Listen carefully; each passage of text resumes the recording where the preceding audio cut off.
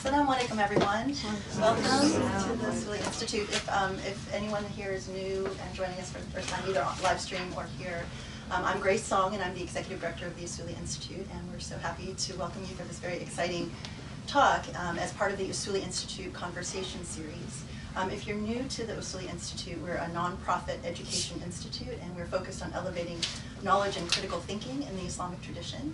And the main things that we focus on right now, we have weekly virtual khutbahs that Dr. Khaled um, gives, as well as monthly halakas. So we've been um, going through um, tafsir or detailed um, Quranic commentaries, so we understand, you know, the beauty of and the depth of meaning in, in the Quran. Um, and then also we do these conversation series from time to time with various people on issues that are important. And so um, you can find all of that material at our website on usuli.org. And um, we're so happy and honored to have um, Professor Abdullah Al Al um, today with us. Um, he and his uh, lovely wife, Tagreed, flew all the way here to be with us um, from the East Coast. And um, Professor Alaoudh is actually a senior research fellow at the Center for Muslim and Christian Understanding at Georgetown University. Um, and so we're, we're just delighted to have this conversation here about some very important issues happening that obviously uh, Professor Abou El Fadl has been talking about in his khutbahs recently and um, you know, that we're feeling very strongly about. Um, but before we get to that, I just wanted to highlight, um, I don't know if people have had an opportunity to see the very powerful khutbah yesterday. I just, if you haven't seen it yet, I wanted to encourage you to do that. Um, Dr. Abou El Fadl here gave a very fiery and impassioned khutbah um, as a response to being banned from giving his khutbah at the Islamic Center of Southern California. Um, because he wanted to, he originally asked to do janazah prayer on um, President Mohammed Morsi. And this is kind of the fallout that happened from that request. Um, and you know, more than just an you know indictment of how that decision was made, it's actually a very impassioned plea um, and wake-up call, I believe, for Muslims at large in terms of like where you stand in terms of justice. And so I really encourage people to watch it and share it and think about it. It's a really important message for our time. Um, and again, that, that's available on YouTube and it and it will be also on our, on our website.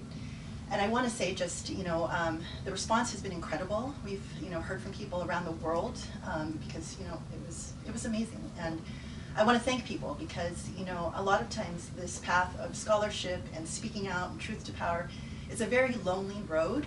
And oftentimes those messages that you send make all the difference. It just, it makes you feel like you're, you know, you're making a difference, that you're not alone and that, you know, people are with you. So um, thank you, and you know, please feel free to Write in and, and tell us, you know, how, how, what's going on, you know, how you're reacting. We appreciate that.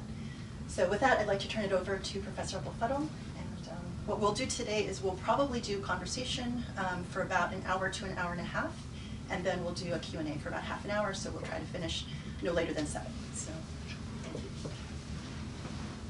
السلام عليكم بسم الله الرحمن الرحيم بسم الله الرحمن الرحيم والسلام على محمد وآله وأصحابه وتبعوا بإحسان إلى يوم الدين um, it it is uh, it is really a treat to to have Abdullah uh, with us today.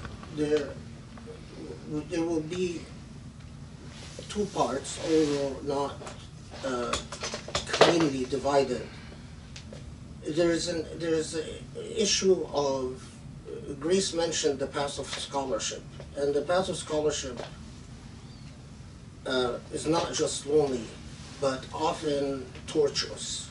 Um, there are scholars that reconcile themselves, make peace with those in power, uh, regardless of what those in power do or regardless of what the decisions are.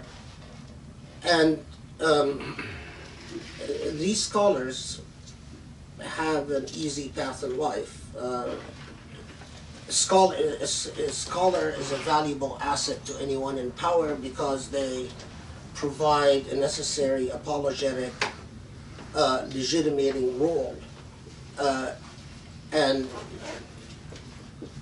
that role could be and often is not just destructive for the institutions of society, but has a very long-term, um, detrimental long-term effect uh, in that it, the betrayal of a scholar makes people lose faith in the word and lose faith in ideas. And when people lose faith in ideas, what follows is inevitably an identity crisis.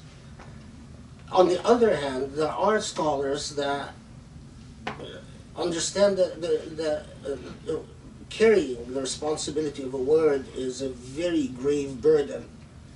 And, um, and so they don't make peace with those in power, and the past then is not just lonely, but the, it entails a great deal of suffering, an enormous amount of suffering.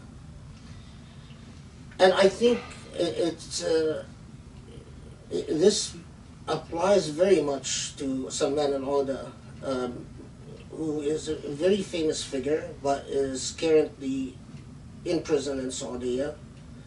And so there, there's a part which we will talk about those who are detained in Saudi Arabia and try to understand. Saudi is, is often puzzling and confusing for outsiders. Uh, we'll try to understand why and what will become of them and um, and then there's a, another component that I really want to flag is that Abdullah is in his his own right a, a rising scholar. Um, he did his doctorate at, at Pittsburgh. Uh, like myself, like myself, he's in law. Uh, his doctorate is uh, an SJD is uh, a doctorate in law. And there are a lot of very interesting intellectual questions that I want to pick his brain on for the benefit of everyone. So let's start with Sheikh Salman al-Auda. I mean, for those who might not know, Salman al-Auda is probably one of the most prominent uh, scholarly figures in Islam today. Uh, on, um, I think he on on um, he had 14 or 15 million followers. Um, I been reading Salman Auda's writings and watching his lectures for for a long time. Uh, I have to say that I have been I, I watched a, a series of lessons that he gave from Turkey. And the, the, what's quite remarkable uh, about him is how willing he is to reinvestigate and rethink issues. He's, um, he's constantly revisiting his ideas and evolving his ideas. And quite frankly, I, I thought that considering that we don't have many individuals like Salman al-Auda in the world today. We don't, we don't have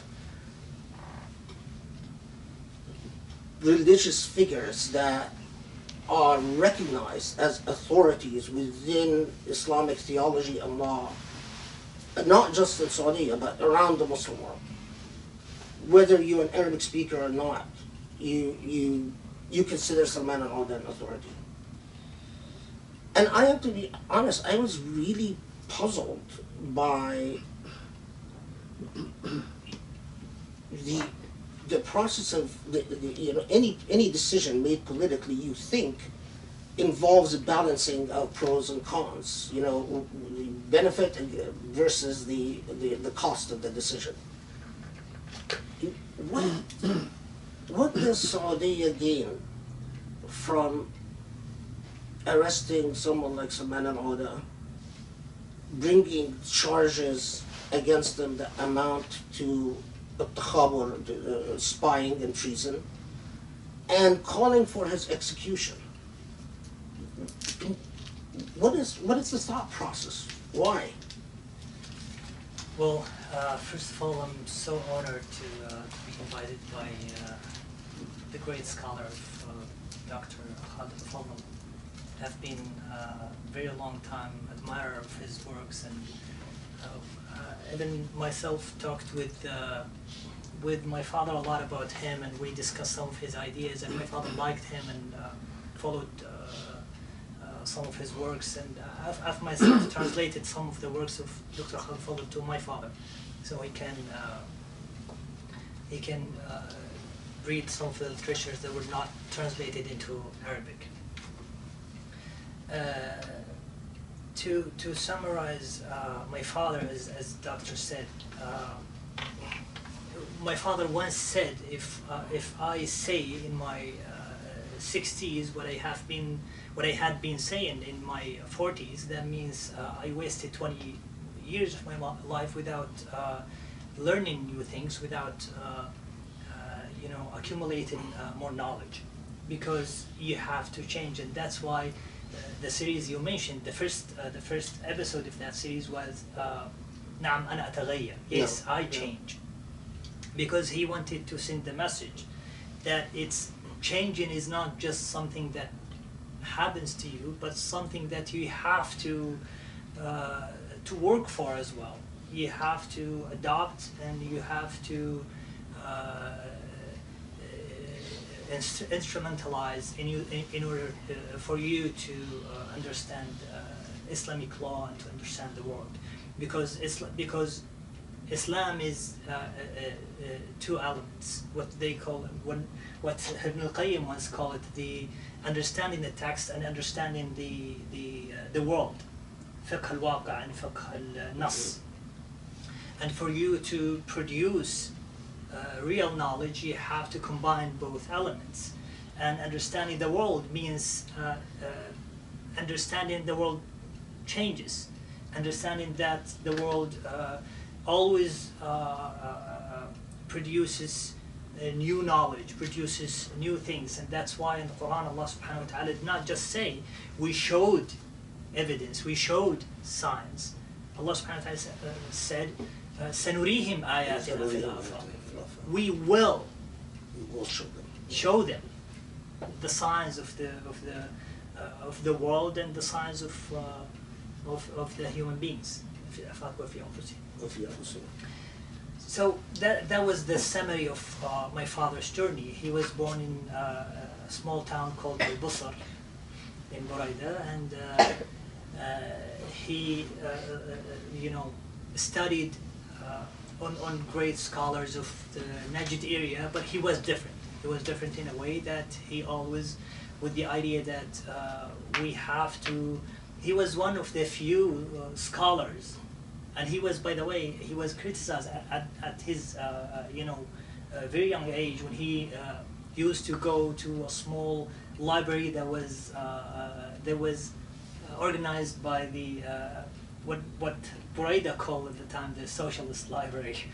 It was uh, managed by some socialists and some uh, Arabists and some, uh, you know, uh, people were not really uh, close to what the circles of my father was. Yeah, the religious establishment. Yeah, they were not religious establishment. They were not even religious in any uh, definition, probably. So that, so he he he he always thought that uh, reading new knowledge, reading knowledge is always good for your own religion, for the health of your own knowledge, of the religious knowledge itself. Uh, so he was different in that way, and then. Uh, uh, after the, you know, he was uh, uh, arrested in 1994. Uh, For five years he was in, Right. yeah, in prison. Yeah. for five years, he was uh, put in jail. Uh, no legal processing whatsoever existed at that time. He was not uh, transferred into trial at all.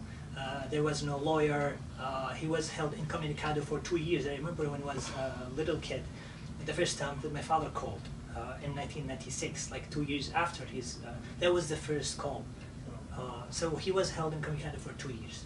Uh, the total uh, uh, imprisonment was uh, five years.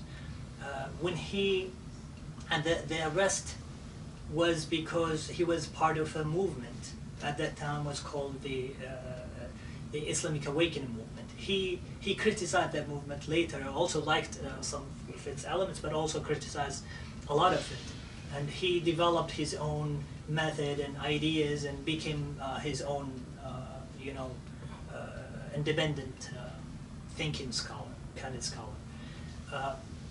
Uh, but he was arrested because also not just because he was a scho- uh, an Islamic scholar, but, but because also he added to that uh, Islamic scholarly that he has that he has the the uh, political side, which is to criticize the government. He was one of the main uh, concept that he criticized about the Salafism and, and the, the, the Wahhabi establishment in Saudi Arabia uh, were, were, were two doctrines. Let's call two doctrines were the two main, uh, uh, you know, issues that my father criticized uh, before even the, uh, uh, before his first arrest.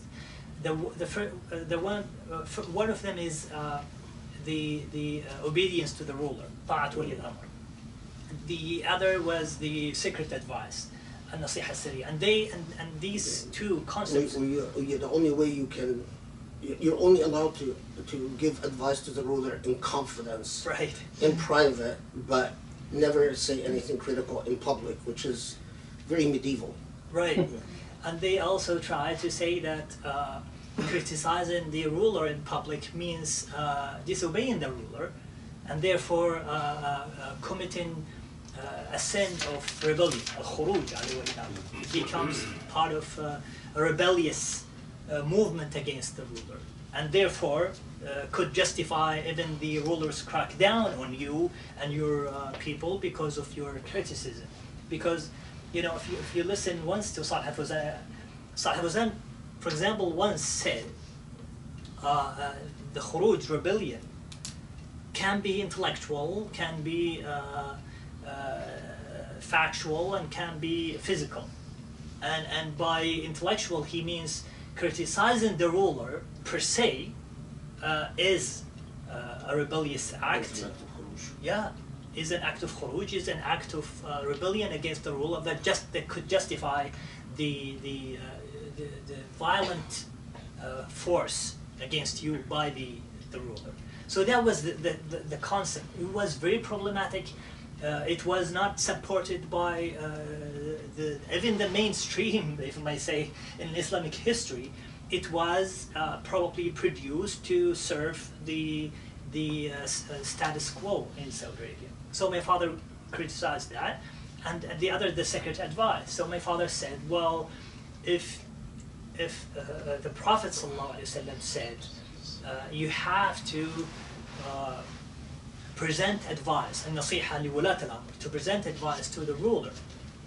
What is the what is the point of, of, of that advice if that becomes secret? One of the main objective of uh, of uh, paying advice to the ruler is is to uh, to uh, to make the public aware of that uh, problem or that issue. And if you just do it in secret, that means you just uh, ignoring the public and you're just trying to uh, uh, to make a point with the with the with the ruler or with The, the the public itself then is not elevated and it doesn't become a part of the discourse. Exactly. So uh, there were there were the two main concepts that he criticized, and that's why he presented, along with some of his colleagues that were not uh, uh, that did not get get, uh, get along with the religious establishment at the time, uh, a, a, a- petition that was called uh, Memorandum of Advice Right. And it was symbolic because of its advice. Again they they they, they try to revisit the secret advice concept. And they and, in that in that petition and Madawi Rasheed a lot of uh, historians who studied Saudi Arabia uh, uh, uh, thought that was a turning point in the in the religious circles in Saudi Arabia. It divided the, like the the the religious circles into two the religious establishment the regular traditional Wahhabi and those who combined uh, more uh, more dynamic element, uh, elements into the discourse. So the member in, in the memorandum of advice, they asked King Fahd at that time to introduce the consultative council. It was, you know, unheard of. Uh, the, the, uh, and they asked for uh, what they called an Islamic constitution because there was no constitution whatsoever in Saudi Arabia. Sort of a, movement towards a, const, a constitutional mo- monarchy. Right. With, with, you have a monarch, but you also have limits on government and a prime minister. Right. And a- yeah. and accountability, uh, where you have like a consultative council that can check the executive and can, uh, uh, you know, have uh, some k- sort of uh, checks and balances. Uh, so there was, uh, I mean, King Fahd was really angry. He did not like the movement. Uh, he banned uh, uh, uh, uh, the, the, the committee at that time that was established in, in 1993. It was called the Committee for the Legitimate Rights, uh, لجنة الحق لجنة الدفاع عن الحقوق الشرعية. The the uh, the committee to defend the legitimate rights in Saudi Arabia. It was banned, and uh, one uh, scholar who was part of the senior scholars was also fired from, was removed from the council because of his engagement in that movement, because they did not want to see uh, some people who were trained, who, who who were trained uh, as religious scholars, join in uh, that popular movement. Uh, I don't know if I deviated from No, the it's, question. Was it's, it's a very important background. though, Okay. So go, go on. so yeah, and then uh, uh, so like one year after that, uh, after banning the movement, uh, my father uh, got arrested uh, in 1994, and he spent uh, five years because of uh, they demanded uh, reforms. After the 2000, he was uh, so he was released in 1999. Uh, after he was released, uh, he developed uh, uh, some of his own ideas, and he became even more, uh, if I may say, uh, he, he became closer to what we know as the Islahiyya al-Islamiyya, Muhammad Abdu al-Afghani, the, the, the, the Islamic Enlightenment.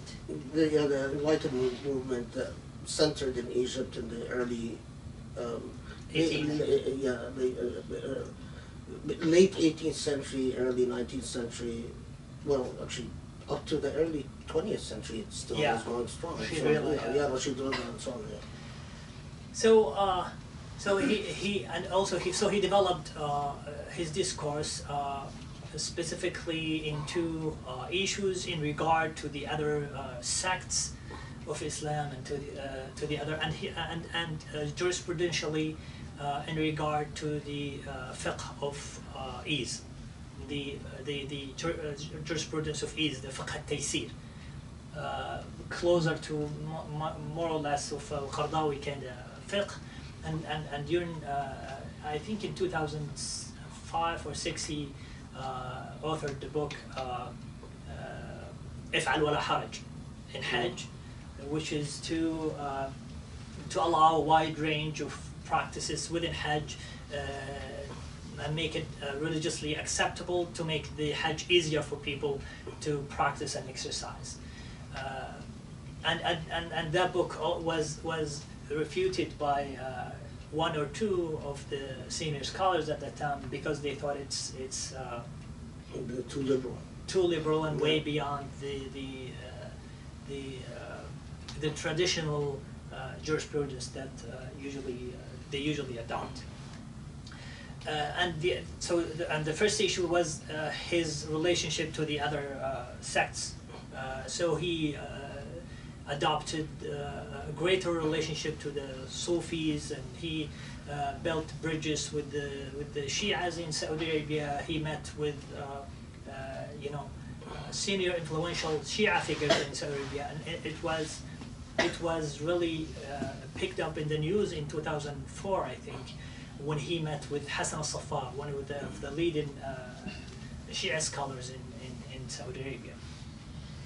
Uh, so that was that was his uh, just the, the summary of uh, his Just you know, in, in Egypt, um, there are, there are people um, from the Salafi movement who considered Salman al-Auda a kafir, and every time I would have that conversation with them, it would always be the same things. Um, Salman al-Auda is a kafir because he embraced and showed tolerance towards Shia. Uh, he did not, he, he dropped the hostility towards Sufis, uh, various Sufi tariqas in Egypt. He uh, was willing to appear on television programs where there were women.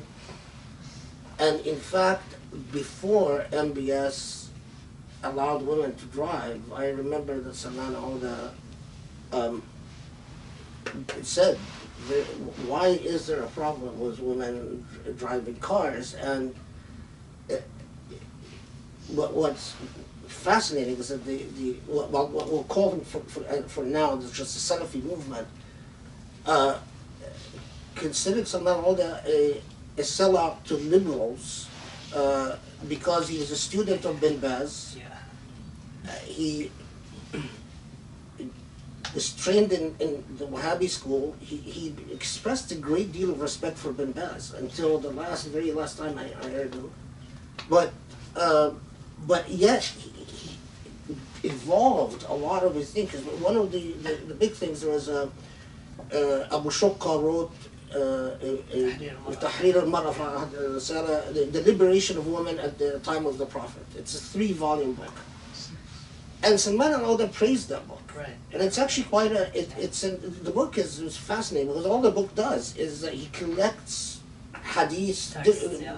r, r, you know, various narratives from various books and says, oh, look here, you know, How the prophet interacted yeah, just read it for yourself. Yeah. And yeah, He rarely commented. he, he doesn't, Abu Shuqqa doesn't actually intervene into Yeah. the text that much. He just says, here's, here's what the original sources said. Uh, and Salman Oda got slammed Right. for endorsing and recommending this book as a, as a good effort. So, I mean, in terms of it was hard for, for critics of, of Wahhabiyya like myself. It, it was, you could no longer point dogmatically to all people who emerged from the Wahhabi school as reflecting certain set doctrines because Salman is that was a very good example of someone who came out of being trained by someone a, a, clear classic cut Wahhabi like Bin Baz, but yet evolved his ideas into into a very tolerant, uh, embracing, uh, inclusive Islam that rejected the idea that Islamic doctrine can be espoused without it being carried to real life in a practical and pragmatic fashion. If it didn't work in, in, in practical life, if it clashed with the demands of practical affairs of life, then then it doesn't work. But I want to go back to this understanding the arrest because you know if, if you have a liberal program Yeah. well, here's a very powerful man with so many followers that, despite all of the, the attacks on him, despite all of the, I don't know too many Muslim scholars who have 40 million or 15 million followers. I, I don't I don't know that many Muslim scholars that um, cannot be accused of uh, being ignorant of the Quran, cannot be accused of being ignorant of the Hadith, cannot be accused of uh, being ignorant of the Sunnah, but yet it manages to negotiate the Islamic tradition in a ways that adapts to what, are the demands of modernity in, in, in its various forms. So, uh, so why? Well, That's an interesting, very interesting question, and I think these very characteristics of my uh, father that led to his arrest. And why? Because just put in mind, I mean, I'll, I'll put you in, into the context uh, leading to, to his arrest. Uh, so MBS, uh, I don't know if you're following the, the Saudi politics, but MBS came to power uh, in 2015 uh, as a deputy crown prince, and he became uh, crown prince and the de facto ruler. I mean, in 2017, in July 2017, he just, I think he, July or June, he, he'll be marking two year, uh, like very soon, or he just did. Uh, so when he became the de facto ruler of Saudi Arabia, he uh, uh, wanted to promote or present uh, three projects that turned out later to be just uh, a PR kind of campaign to the West to let him do what he whatever he wanted, because that's what he wanted.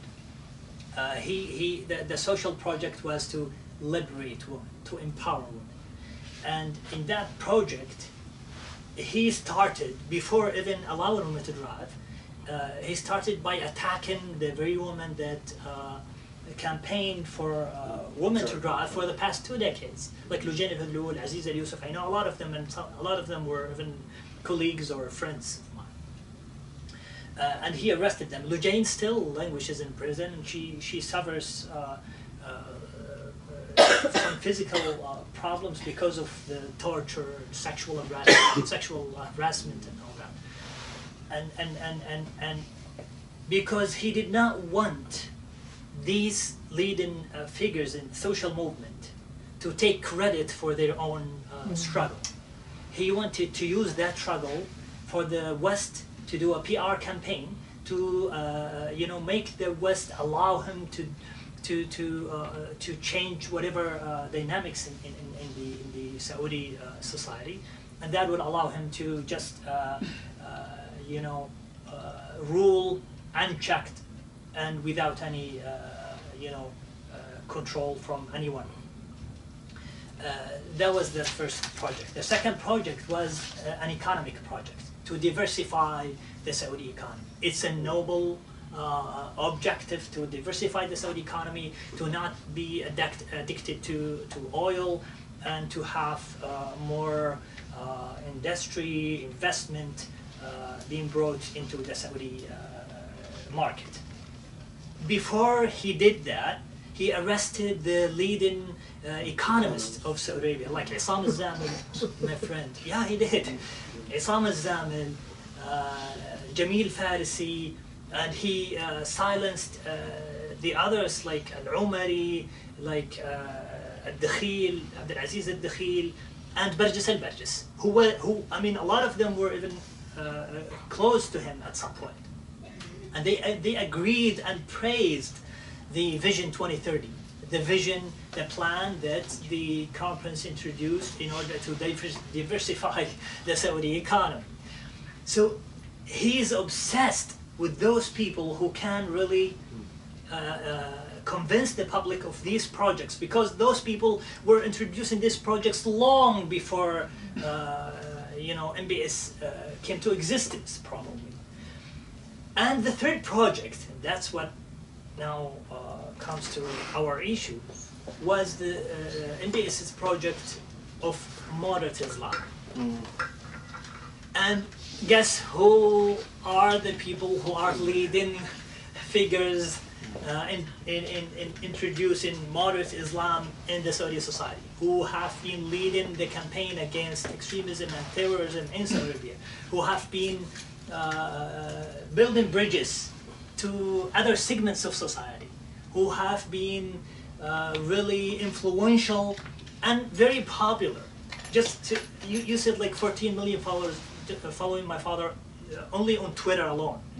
like that's double than what the king has on his Twitter account. so, though I mean, they will they are so frightened and so uh, uh, you know concerned of these people who have the popularity, the and, and my father, I mean, poses uh, like a, a, a particular uh, you know threat to them because he has also the religious legitimacy.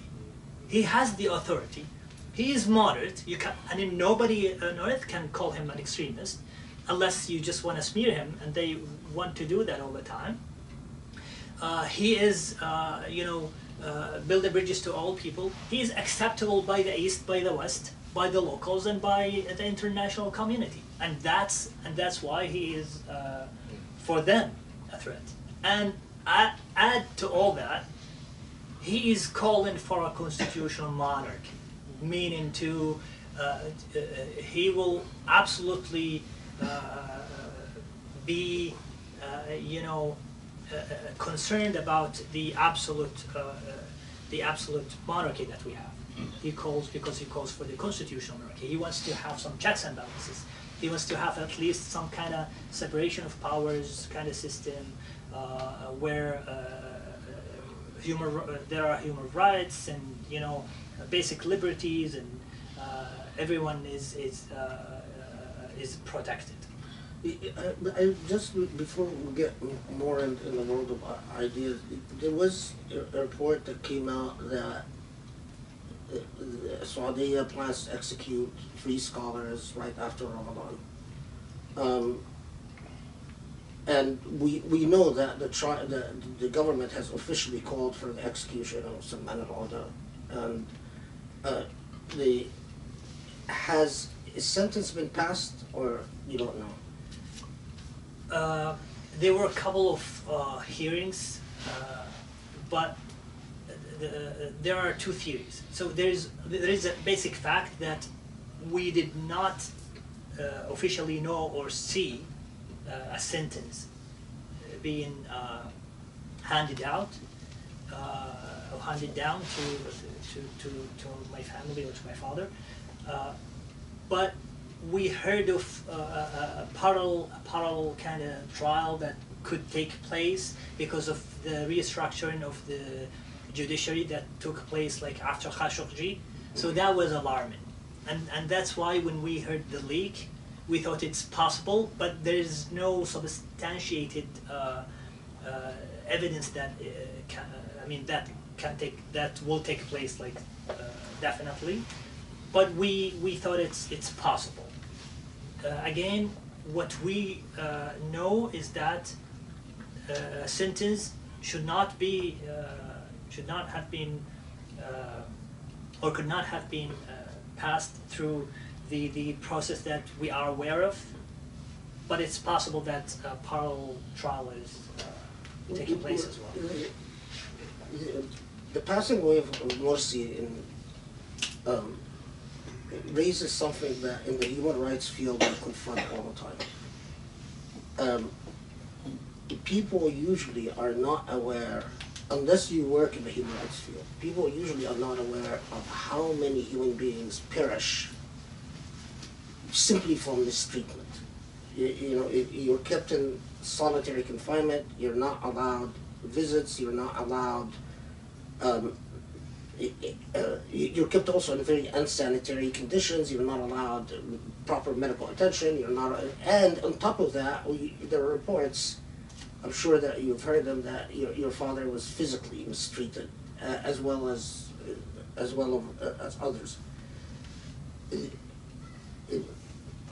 Connected, at the same time, there a report that came out that Kushner called MBS and told them, don't do more executions right now, hold off on executions because it, It could embarrass us. it could embarrass Yeah. us. So i- is it, It's not because they, they care about yeah, which, so, so are we, I mean, there, there are several scenarios, right? They, they could hold your father uh, like they did before for five years, so they could hold him for a number of years and then eventually release him. They could actually sentence him, and when the political climate is possible, carry out the sentence. Um, and uh, uh, they could also do what governments are very good at, and that's the slow agonizing deaths of prison. Uh, human beings don't fare well in, in solitary confinement, and there's so much research into how they deteriorate very quickly. And, yeah. yeah. And, and it breaks you down intellectually and physically and, and what from the human rights record that we have today is very alarming because there, there are people that perish in Saudi prisons all the time and they get very little attention. Um, where do you know where your father is in these very possible scenarios? I mean, these various scenarios.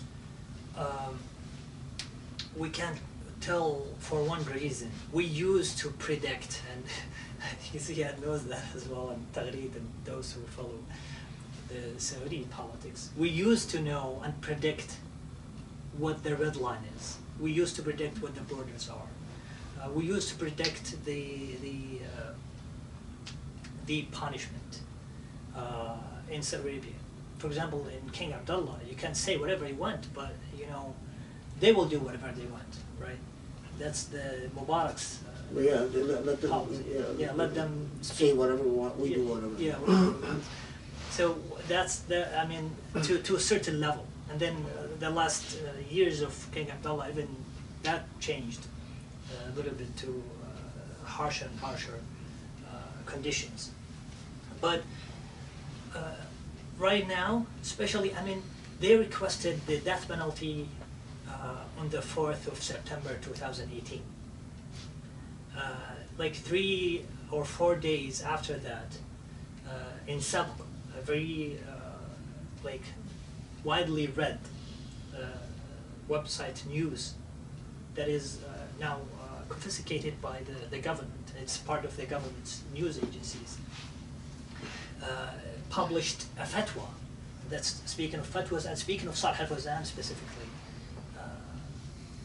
Uh, so, published a fatwa that uh, uh, the, ruler did not just would not just was not just allowed to kill dissidents, but he was obligated religiously. To kill. Yeah, yeah, yeah. There was like three or four days. I will never forget that kind of fatwa.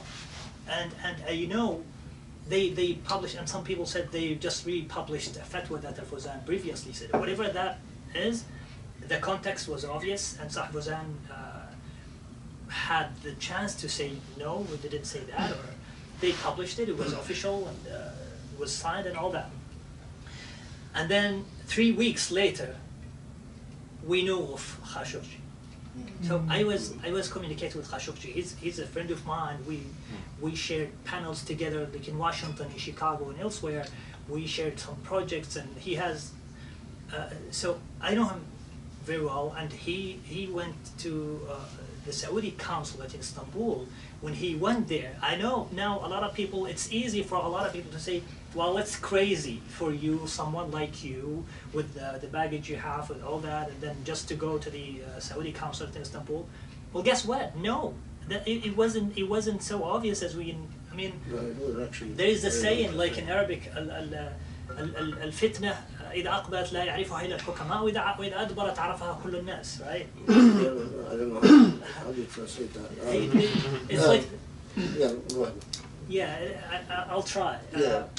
so they said uh, the, the, the disputed uh, uh, consequence uh, would not be uh, would not be uh,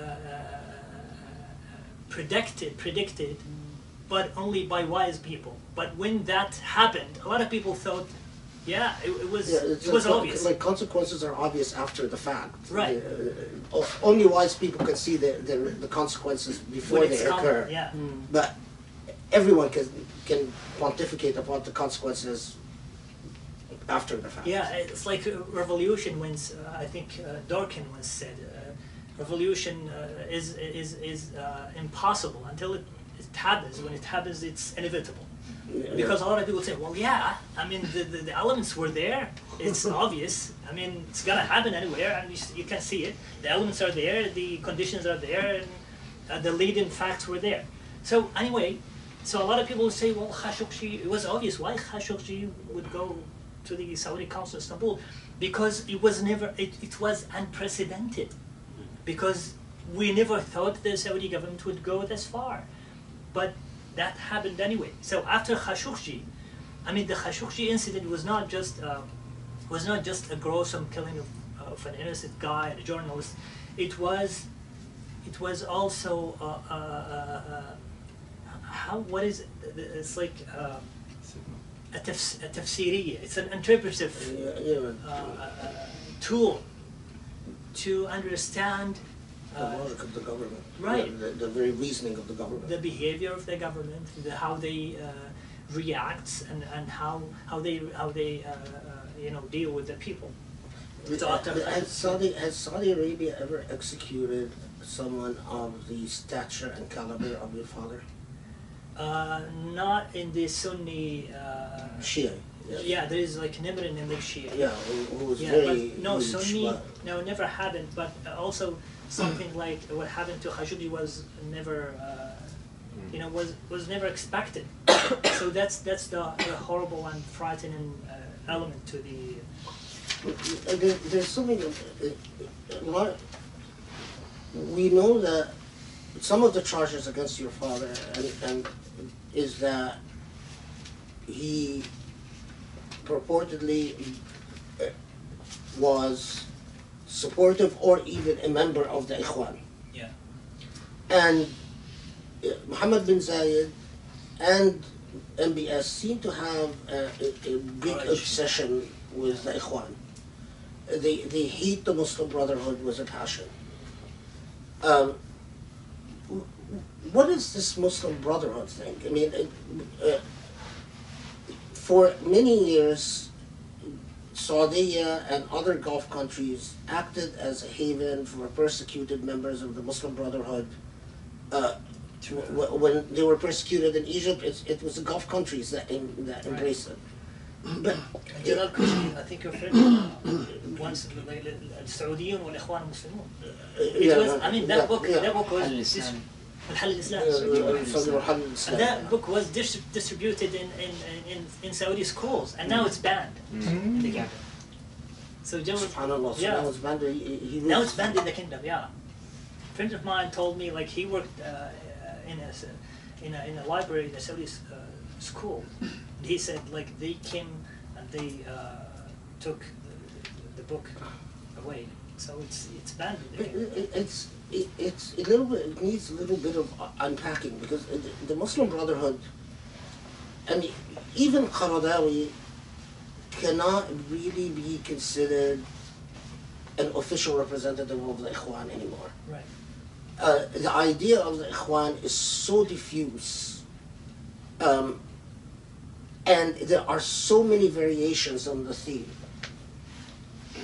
that when they say we we we hate the Ikhwan, we hate the Muslim Brotherhood, we're going after the Muslim Brotherhood. It's it's not clear who who they have in they were mind. after, yeah. Well, I mean, the Muslim Brotherhood was just a scarecrow that they use in order to crack down hmm. on people. Because if they say to people and say to uh, people outside that we are cracking on the people because we want to have an absolute authority, nobody would, would support them. Nobody would, you know, uh, would uh, would would uh, uh, you know be part of their uh, project and, and, and will, will never will never pack uh, they'll never back their uh, own governments.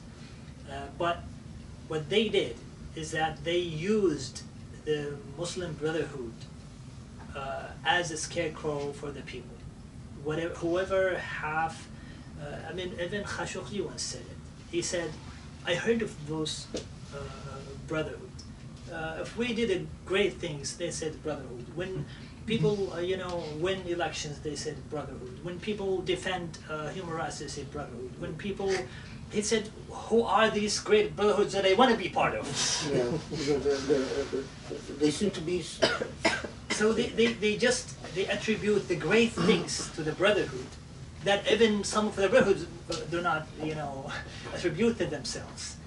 Uh, yes, of course, uh, there are people who are uh, brotherhood, but the vast majority of of, of, uh, of the of uh, those who are called the brotherhood were, were was was either uh, never part of the brotherhood or uh, are not now uh, brotherhood. And I'll just give two examples of, of what uh, I mean uh, MBZ, MBS, and those uh, you know uh, devil people call it. When, for example, the uh, the the uh, uprising erupted in, in, in Sudan, it was against what was uh, what it was against a government that was at some point part of the part of the part of the Ikhwan. yeah. But nonetheless, they supported the government against the uprising, and they called the uprising the brotherhoods. Now they call the, I mean, So it's like the, the, the Ikhwan is just a symbol for any disliked party. any any popular chance for democracy, for human rights, for basic you, you teach Islamic political thought. I mean, can we say that the Muslim Brotherhood stand for a set of ideas? Are there a set of ideas that represent the Muslim Brotherhood? Well, the, the original Brotherhood, yes, they have like uh, they have an organization. They have. Uh, you're, you're talking about the general look in Saudi Arabia. In, in general, just at the current historical moment, i- is there a, a bank of ideas that belong to the Ikhwan? What they now call Ikhwan is a very very Amorphous. yeah, it's a very very large uh, umbrella to whoever uh, speaks and who has also either sometimes uh, who has the Islamic reference. And So, did Salman ever belong to, to the Ikhwan? no, he once belonged before like uh, the before the 90s even to uh, uh, an organization called uh, the Sururi organization at that time.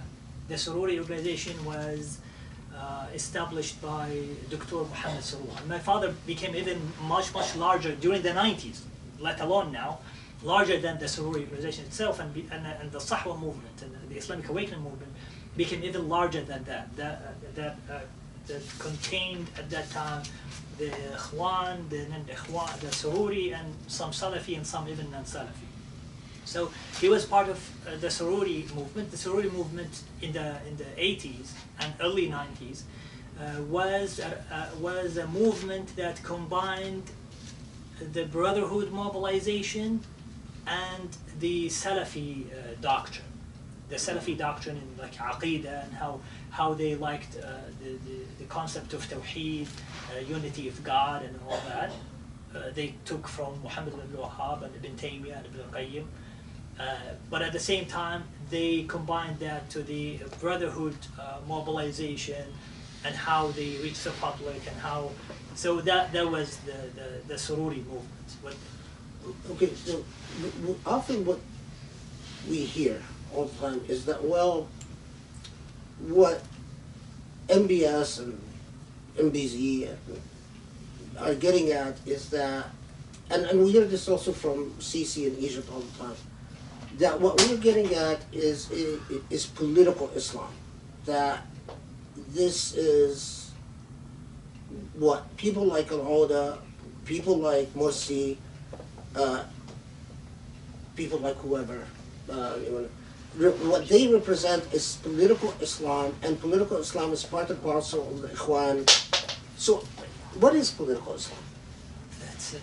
Well, it's it's ironic that those who try to attack what they call political Islam were the most politicizing forces of Islam. They politicize it in a way that is against the people, not for the people. So what they really after uh, was was the Islamic uh, concepts that defends the people, the Islamic concept that defend the basic rights and, and, and dignity of the people, and that's what they uh, were after because they are.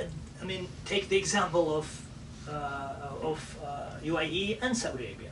UAE just, uh, I mean, Saudi Arabia just held a conference like last month, and they invited uh, uh, hundreds of Muslim scholars to defend certain ideas. And in that conference, they, they, they produced a document. They call it an Islamic document. And that was uh, adopted by the state, by the Saudi state.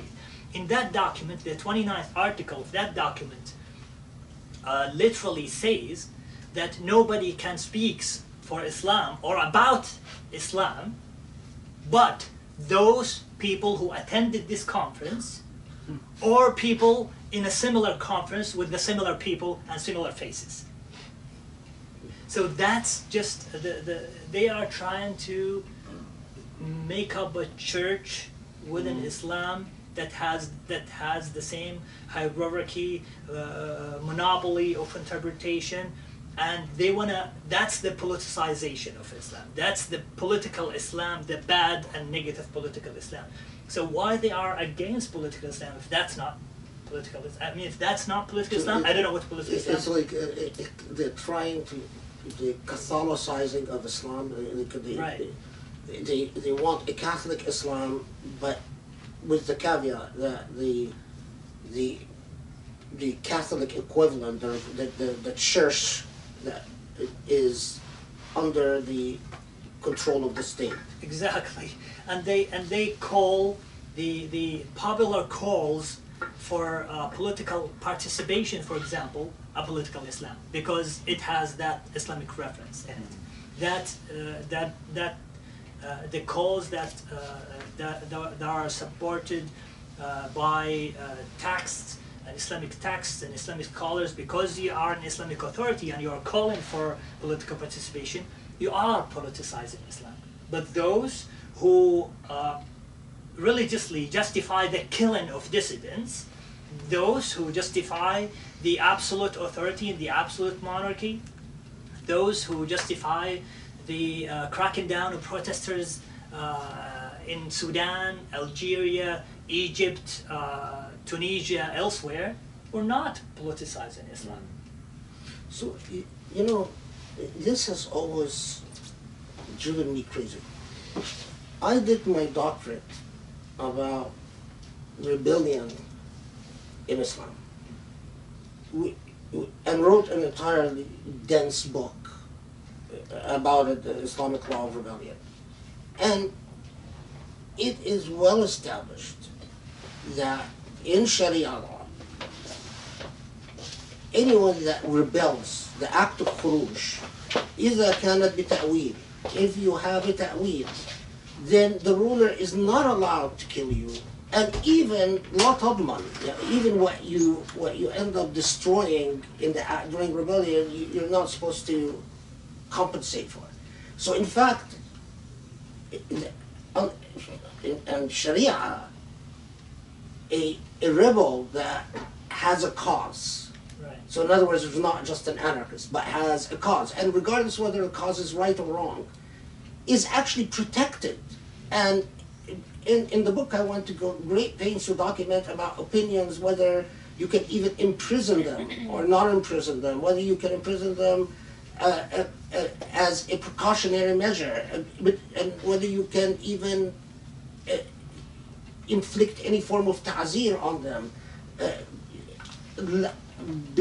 other than killing. So whether you can, you know, whip them, whether you can imprison them, and so on, whether you can exile them, and I never hear from from Egypt to Saudi to the Emirat, I never hear any fuqaha talk about ahkam al I always talk about, I hear them talk about the ard, corrupting the earth, Yeah. and the laws of the- Hiraba. That's the first chart, by the way.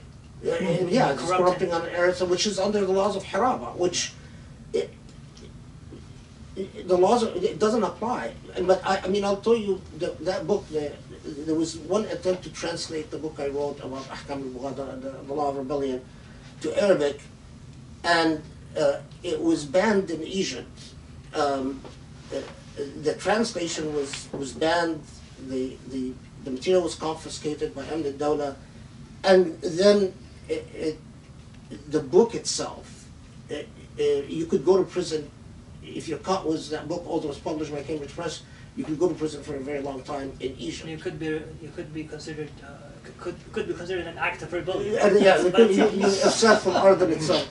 But it, it, it, it, it, it, it astounds me because y- y- you think that these people have read fiqh and have read enough about the law of haraba and enough about that and they know that المتأول لا يقتل ولا ي- ولا يضمن ولا يحبس you can't you person was with with a with a cause. Even if the cause is wrong you can't imprison them you can't punish them you can't kill them. So it's a black hole of Islamic jurisprudence. It's uh, yeah, it's really saddening that how they uh, try to select and pick and present what uh, what the jurisprudence is, and and at the same time uh, accuse others of politicizing Islam. They are using uh, selectively texts from fiqh in order to uh, justify the crackdown, to justify uh, oppression on people. I mean, the, how they, how they, uh, for example, uh, dealt with the with the case of Sudan was really, really, uh, Brutal. yeah. It, they they they supported the military. They sent uh, they sent even uh, uh, cars in order to help the military crack down on the protesters, uh, and they called the protesters. Uh, uh, uh, Ikhwan and Poli- political Islamists and all that, and at the same time, they are uh, using the general, uh, you know, idea, g- general uh, jurisprudence uh, doctrine of uh, disobeying the ruler in, order to religiously justify the crackdown.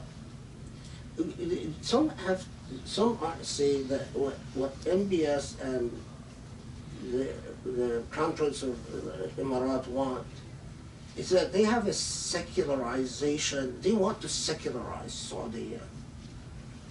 They want really Armenia, they want to secularize Emirat, and people like Salman and all that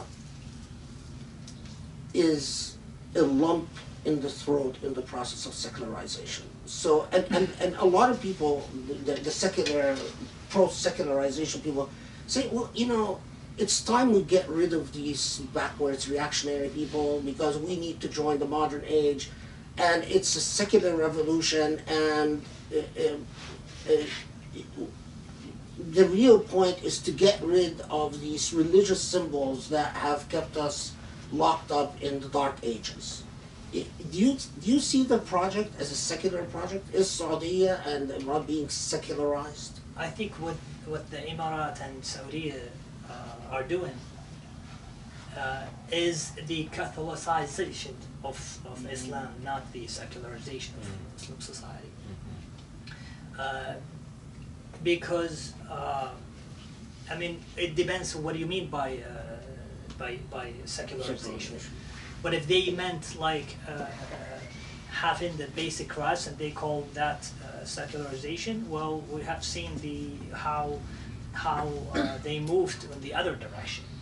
Uh, if you mean secularization, separation of state and church, well, I don't think uh, having uh, a supported and uh, state-sponsored uh, council of fatwa that issues fatwas against uh, uh, various segments of society is is a secularization. I don't think that 29 article that I just mentioned last month. I'm not talking about like many years ago. Last month that they uh, invited many scholars around the, the world to is is is uh, secularizing uh, uh, force. I don't think I don't think there is.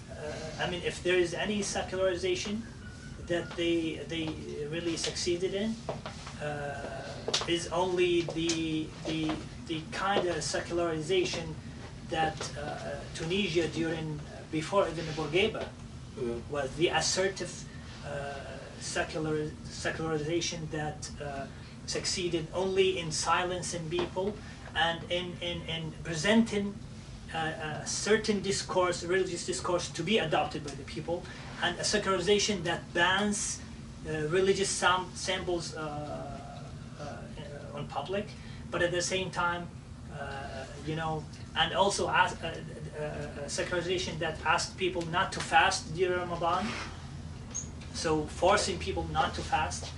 Uh, you know, yeah, so so that's intervening in the in the exercise of religion. That is against any you know interpretation of uh, secularization. For example, in, in, in, in- in Canada or in the U.S. Just the first. You know, I want to ask you, uh, so, you know, we, we, I grew up with the idea that Saudi population is a religious population. I sometimes see Saudi accounts say things that are really shocking, including cursing the Prophet, cursing the, the, the, you know, demeaning Islamic history, demeaning Islamic achievements. Is Saudi Saudi population moving away from religion? Is it true that there's a sort of social anthropological change in Saudi uh, where people are just a good size of the population are fed up with faith. No, I don't think. Uh, may, yeah, there is there is like a, a very small uh, segment of, of the Saudi society uh, that uh, that really fed up not not of not not by not because they they, they, they hated faith, but because they hated the faith adopted Mm.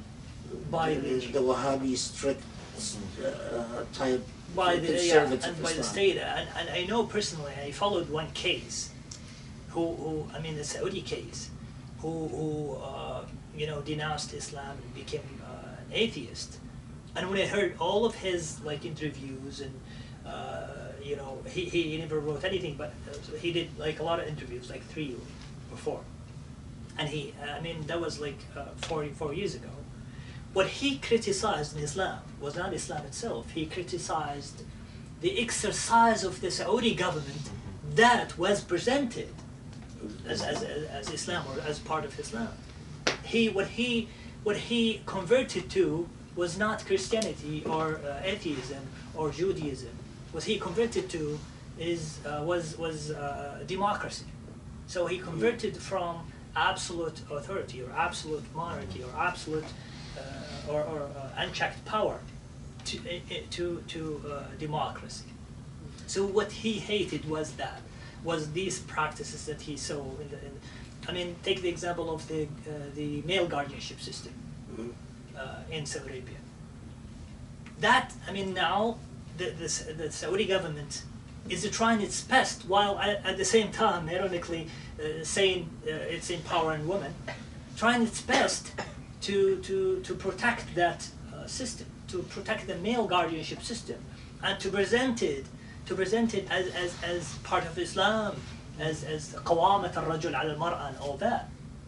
But that system, if you if you, if you read it, uh, like its history, it just started in 1982 or 1981 when one princess uh, fled Saudi Arabia. So the Yeah. the, the king. The, the, the famous story of the, the execution. Of, Right, um, right. So they Yeah, did not well, want such a, a story to uh, come up again, and in order for that to happen, they wanted to uh, enforce uh, to enforce kind of uh, a, ba- a, ba- a ban on uh, female uh, going out of the country unless they have the male, Male consent guardian, or the male guardian uh, consenting to to to her. Uh, Yeah, in that out. story, there was a Saudi, just for people who don't know, there was a Saudi princess who went and married a Lebanese guy, uh, I think he was a British Lebanese. Yeah. British Lebanese, and uh, without the consent of her family, and it ended tragically. He was executed, she was executed, right? Yeah. And um, Extrajudicial. yeah, the, uh, th- there, it was made into a banned movie called The Death of a Princess. Right. It's a very hard fi- hard to find that movie. Uh, I I watched it uh, smuggled in a basement because even in Egypt it was dangerous to watch this movie. Uh, you could get arrested, so we, we watched it as if we were taking drugs. You know, like shh, close the we close the curtains, close the door, you know, lower the volume uh, to see the Death of a Princess movie, which I mean, when you look back back at it, it's funny, but at the time it was very scary. We, we were, you know, very worried that at any time Amn al-Dawla was going to come in and take all of us. Yeah, so the, the, the male guardianship system was introduced into the, the Saudi system after that incident. Yeah. So, and then later to justify that, they used, of course, the scholars again, and they used the doctrine of al-Qawama. Uh, they used uh, some texts, and uh, uh, so so when people hate that uh, system, when females run out of that system, when female uh, uh, want to flee that system, they think they flee in the Islamic concept of Qawama, the Islamic concepts that justify that uh, that oppression and that system. So that's why they, they associate, and at the same time they are now saying they are secularizing. There, okay, so we, we talk about the, the, the, the, how vague the concept of ikhwan is, which, i- i- i- I mean, unless you're talking about an ikhwan within a particular administrative structure, you know, the ikhwan of Egypt, Organization. organize, a very specific organization, the, uh, most of them are in prison anyway, you know, in the case of Egypt. And they say they are Ikhwan. They are not. And They are they not, don't hide it, Yeah, they yeah. are open about it. They are Uh, Ikhwan. and- and- those and- who are Ikhwan, they say they are Ikhwan, and they are very proud of it, and it's nothing wrong with it. And those who, who are not, I mean, it, it, it, it, the funny thing is that, it, you know, I get accused of being a Ikhwan all the time, and, and I just never belonged to the Ikhwan. Uh, I mean, partly because I can't work with any good organization. I mean, I can't work with an, an organizational structure. I'm too wild, I'm too crazy, I, you know. I, my, my, I, in some ways, like your father, I'm struggling with a new idea every every night. Every time I read a book, I'm I'm struggling with a new idea. So, but we also talked about political Islam. We and and how that's also vague.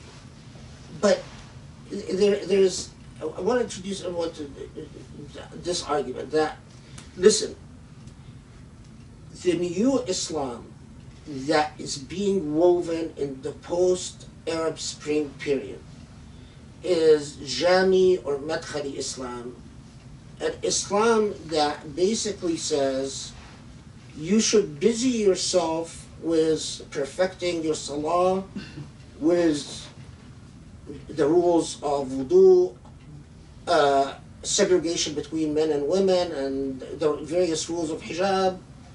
Uh, but in all cases, the biggest haram is to disobey ulil uh, to disobey those in power.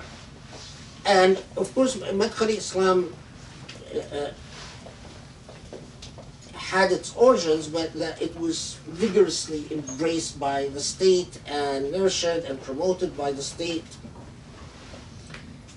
And that people like Salman the, the, the, the problem is, is that they they throw a wrench in the hegemony of new Madkhali Jami Islam all over the Muslim world. What do you think of that? Well, yeah, it's very true. And, and, and the Saudi government supporting that religious uh, movement of Jam, if we call it movement, uh, is just another example of how they used Islam and how they politicized Islam, and at the same time calling uh, other people uh, political Islamists. The Jami, uh, the Jami movement was uh, established in the 80s as a respond as a response to the to the Islamic awakening at that time, and a lot of people said Muhammad bin Ahmad Jami, the founder of that move, movement, was uh, naturalized in Saudi Arabia in order to Yeah. Because he wasn't uh, a, Yeah. a, natural Saudi. He was, Yeah. In, in order to uh, to attack movement because it, it, was getting very big very big at that time and bigger and bigger uh, by time. So they needed uh, a within movement that can really challenge uh, but it, it, not, it did not succeed in a way that uh, the Sahwa movement uh, got larger and larger and, and, and uh, probably became the lar- large, very large umbrella in Saudi Arabia, containing religious circles and people and scholars and all that. But after the uh, and after the 2000, when uh, my father uh, got out- of jail and uh, some other scholars and some other uh, uh, intellectuals as well, the Jami became very weak Mm. because they were uh, uh, confronted with the idea. It's like when they, it's like when, uh, but but with, with, with so much differences. Uh, when when when, the, when some Islamists uh, became part of power Mm. in Egypt, so they have the idea of. Uh, They're like, also Madkhali and Jami, uh, the, the, the, the ones that support the military government in Egypt. Yeah, true. And They supported the military everywhere. They- I mean, do you know that there are Jami uh, military forces in Libya fighting with Haftar? So they are so they their basic doctrine is to obey the ruler, to obey the to to follow the status quo, to justify whatever whoever is in, in power. But at the same time, they are actively fighting uh, in Libya with one uh, with one militia, with the Haftar militia, against the other militias. That just blow, blows your mind how these people, uh, you know, But let, me, the- response I get from Germans uh, is that that's because democracy is haram. Democracy kufr bawah. And the, the problem with Salman Alaoudh is he didn't realize that democracy is kufr. And, and so the priority is to keep bid'at al-demokratiya, the bid'ah of democracy Wait. out. Yeah, but the thing is that what was I mean, democracy is not found in the in the Islamic text. It's it's a, it's a concept that was uh, very much later developed, right? But what we found in in, in Quran is how bad the Malakiya is, and they never fought Malakiya as harsh as they did uh, to democracy. In in Quran, Allah Subhanahu wa Taala says in, uh, when when uh, Malikat Saba. إن الملوك إذا دخلوا قرية أفسدوها وجعلوا أعزة أهلها أذلة. The- Nothing tra- more. Translated for the, the benefit of just, uh, translated by meaning, uh, not literally. Yes. So the meaning uh, of that verse is that uh, the, the the queen of Saba said, as Queen Allah of Sheba, subhanahu- yeah. Queen of Sheba. Sheba. Yeah. Sheba. Yeah, Sheba in in, uh, in Yemen said uh, in the Quran that uh, kings, when they uh, when they go to town, they turn it upside down and they ruin it and And they, they corrupt it. and they spread yeah this uh, spread. Uh, They spread- oppress its, they oppress the people, I mean, in, Yeah. in, in essence, yeah. Yeah, so so they never mentioned that very obvious verse, but they try their best to make up interpretations to attack uh, democracy, to attack because they hate. I mean, the real intention is to attack the popular movements. Uh, they they hate uh, uh, distributing powers because that. I mean, they have their own interest. Their interests uh, are so much associated with the uh, with the elites that rule the the Arab regimes, and that's why they fight in their best. I mean, are they, are, are, is, is there, there's some people that be- become anthropologically accustomed, excuse me, to feed off power. They're like bottom feeders. You know, you have the sharks and the Yeah. shark, the, the, the, the bottom feeders that rely on the futat, the, their, what the, hmm. the shark leaves. And one way is, I always imagine the Jamis and, and the Madkhalis as you know, they, they leech onto power and they bottom feed. It's like, and they, they, they always want a very strong and brutal power. Uh, I, I want to open up, uh, there's so much we, we, we could, I mean, uh, uh, there's so much we could talk about because there's, uh, but we're not going to be able to touch on everything because, you know, there's still the issue of liberalism and, and is it coherent to talk about Islamic liberalism? And does, can we say that your father represents a, a, a liberal Islam? But I'm gonna, uh, for the interest of time, I wanna get to two main points prior, prioritizing issues.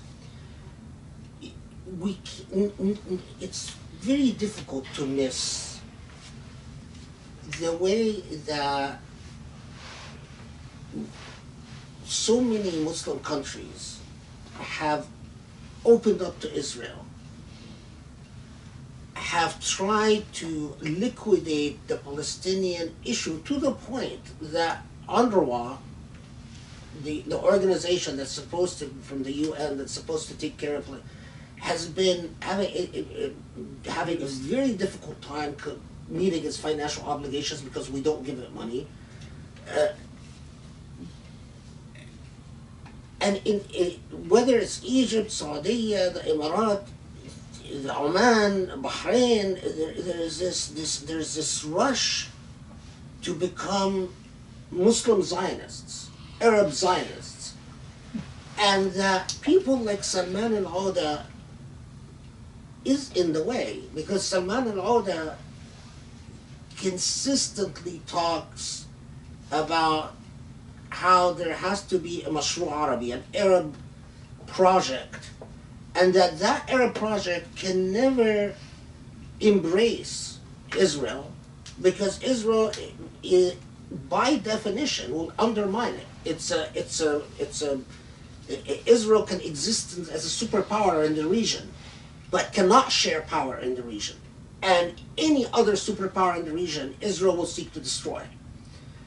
Um, and that's that is often. I mean, uh, those who dare say that openly are very few.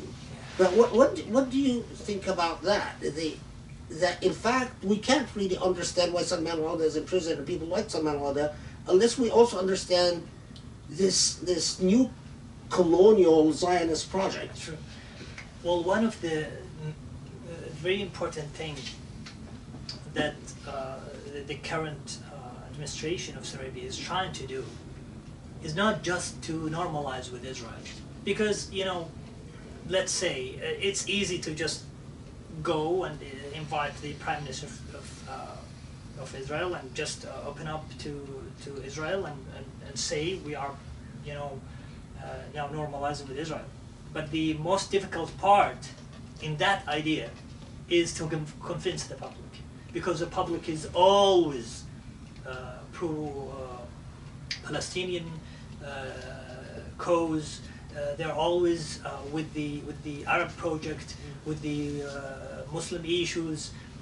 They have been so much oriented and, and, and, and educated in the in the issue of Palestine and the issue of Al-Quds, in the issue of Al-Aqsa, in the, in the, and we grew up even uh, taught in schools, in universities, uh, circles, in mosque, everywhere, that uh, we have, I mean, we have been told and seen uh, the pictures, different pictures, even of, of I remember like when I was really uh, uh, a real like kid in in in, uh, Ma'had al-Ilmi, the institute, the scientific institute, where they showed us like a map of Jerusalem, and they trying to say, well, this is uh, uh, Al-Quds and here is uh, Al-Aqsa and here is Qubbat al-Sakhra, and don't even uh, you know mix up uh, al-Sakhra with Beit al-Maqdis because if you try to reduce you know al- al- the, the, Masjid al-Aqsa to just Qubbat al-Sakhra, they will just they will take the, that Mhm. away and then you know it's, it's an idea of how they they they try to educate you Educate your consciousness about what the, the about even the small details Yeah, of the yeah. map of not just Al Quds, but also the Masjid Al Aqsa itself and the different part of it. Uh, so imagine growing up like not just one generation or two or three, like the whole Saudi society is always like uh, uh, in the vast majority pro-Palestinian cause and uh, uh, against the occupation, against the, the, the different part of Palestinian uh, territories. So so that was that was the the, the, the, the Saudi context. With that, they are faced with how to change the how to change the the the uh, conscience of the Saudi society into uh, you know Israel friendly friendly culture. But, but why? I mean, what what is what about MBS? He- He's supposed to be Khadim al Haramain, or the upcoming Khadim al Haramain, right? Servant of the. What about MBS makes him so eager to open up and normalize with Israel and liquidate the Palestinian issue and forget Jerusalem? What He- is going on? He usually has two things, two points in his mind when he uh, try to normalize with Israel. One is that he thinks that uh, normalize it, uh, he thinks that the relationship with Israel is the way to uh, buy the West, is a way to convince the West, and is a way to make the West just uh, uh, ignore whatever he does in Saudi Arabia and in the region. And, and if he does any catastrophe, like he, he does all the time, he will find a way to calm that down and calm the West down and to try to uh, buy the West silence through Israel. And he does that all the time. And, and, and like what al-Sisi uh, did in, in several occasions. Yeah. Uh, the other point that he has in his mind is that he's so obsessed with the uh, with the Iranian influence Right.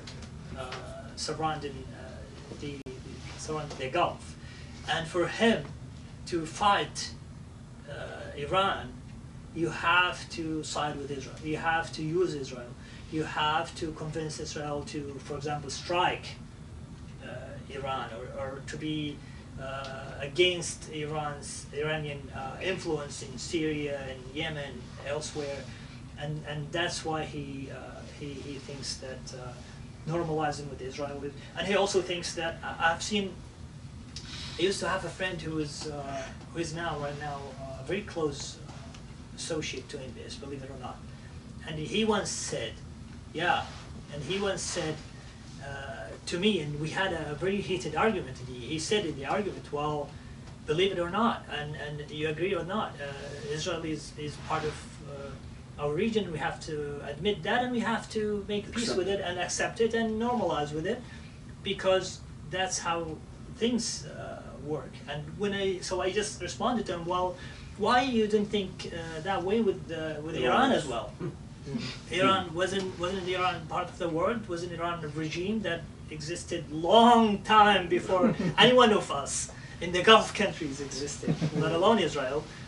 So he said no, but they are uh, they are uh, inimical to us, and they are trying to provoke us here and there. And But so Israel what is about what about Israel? I- Isn't she, isn't Israel also like striking Gazans and You, you, you I, I, I'm going to ask you two, two, two quick questions, then we should open up because I know that I, but I, I, you know, the reality is, and I'll, I'll, I'll ask the two questions and I'll let you uh, have the final one. The, the reality is that we have people, uh, uh, well, you can't go back to Saudi. You know, if you go back to Saudi, that's the last we'll ever hear of you. Um, and that's that's probably a hundred percent sure. Uh, like I can't uh, uh, go to Hajj or Umrah. Uh, the minute I step have uh, step foot in the airport, that will be the, the last one. Um, so, effectively, your new society is the U.S. You're you're you're, you're inshallah. Uh, y- y- you'll have children in, in the U.S. You, so you you're going to become part of the American Muslim reality. The reality is, though, is that we have someone like Hamza Yusuf, who is uh, a part of the uh, Emirati Fatwa Council, which begs the question what is the responsibility of American Muslims towards this new reality that is overflowing in the holy sites, Mecca and Medina and Al Quds? You know, how do you see that? What it, because that is a question that I think is a moral question that confronts all American Muslims.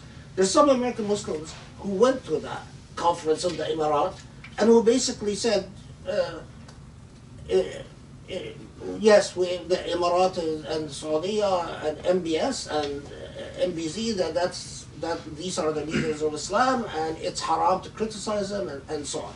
So that's the the, the, the other thing is, um, are you're here in the states? Are you in danger?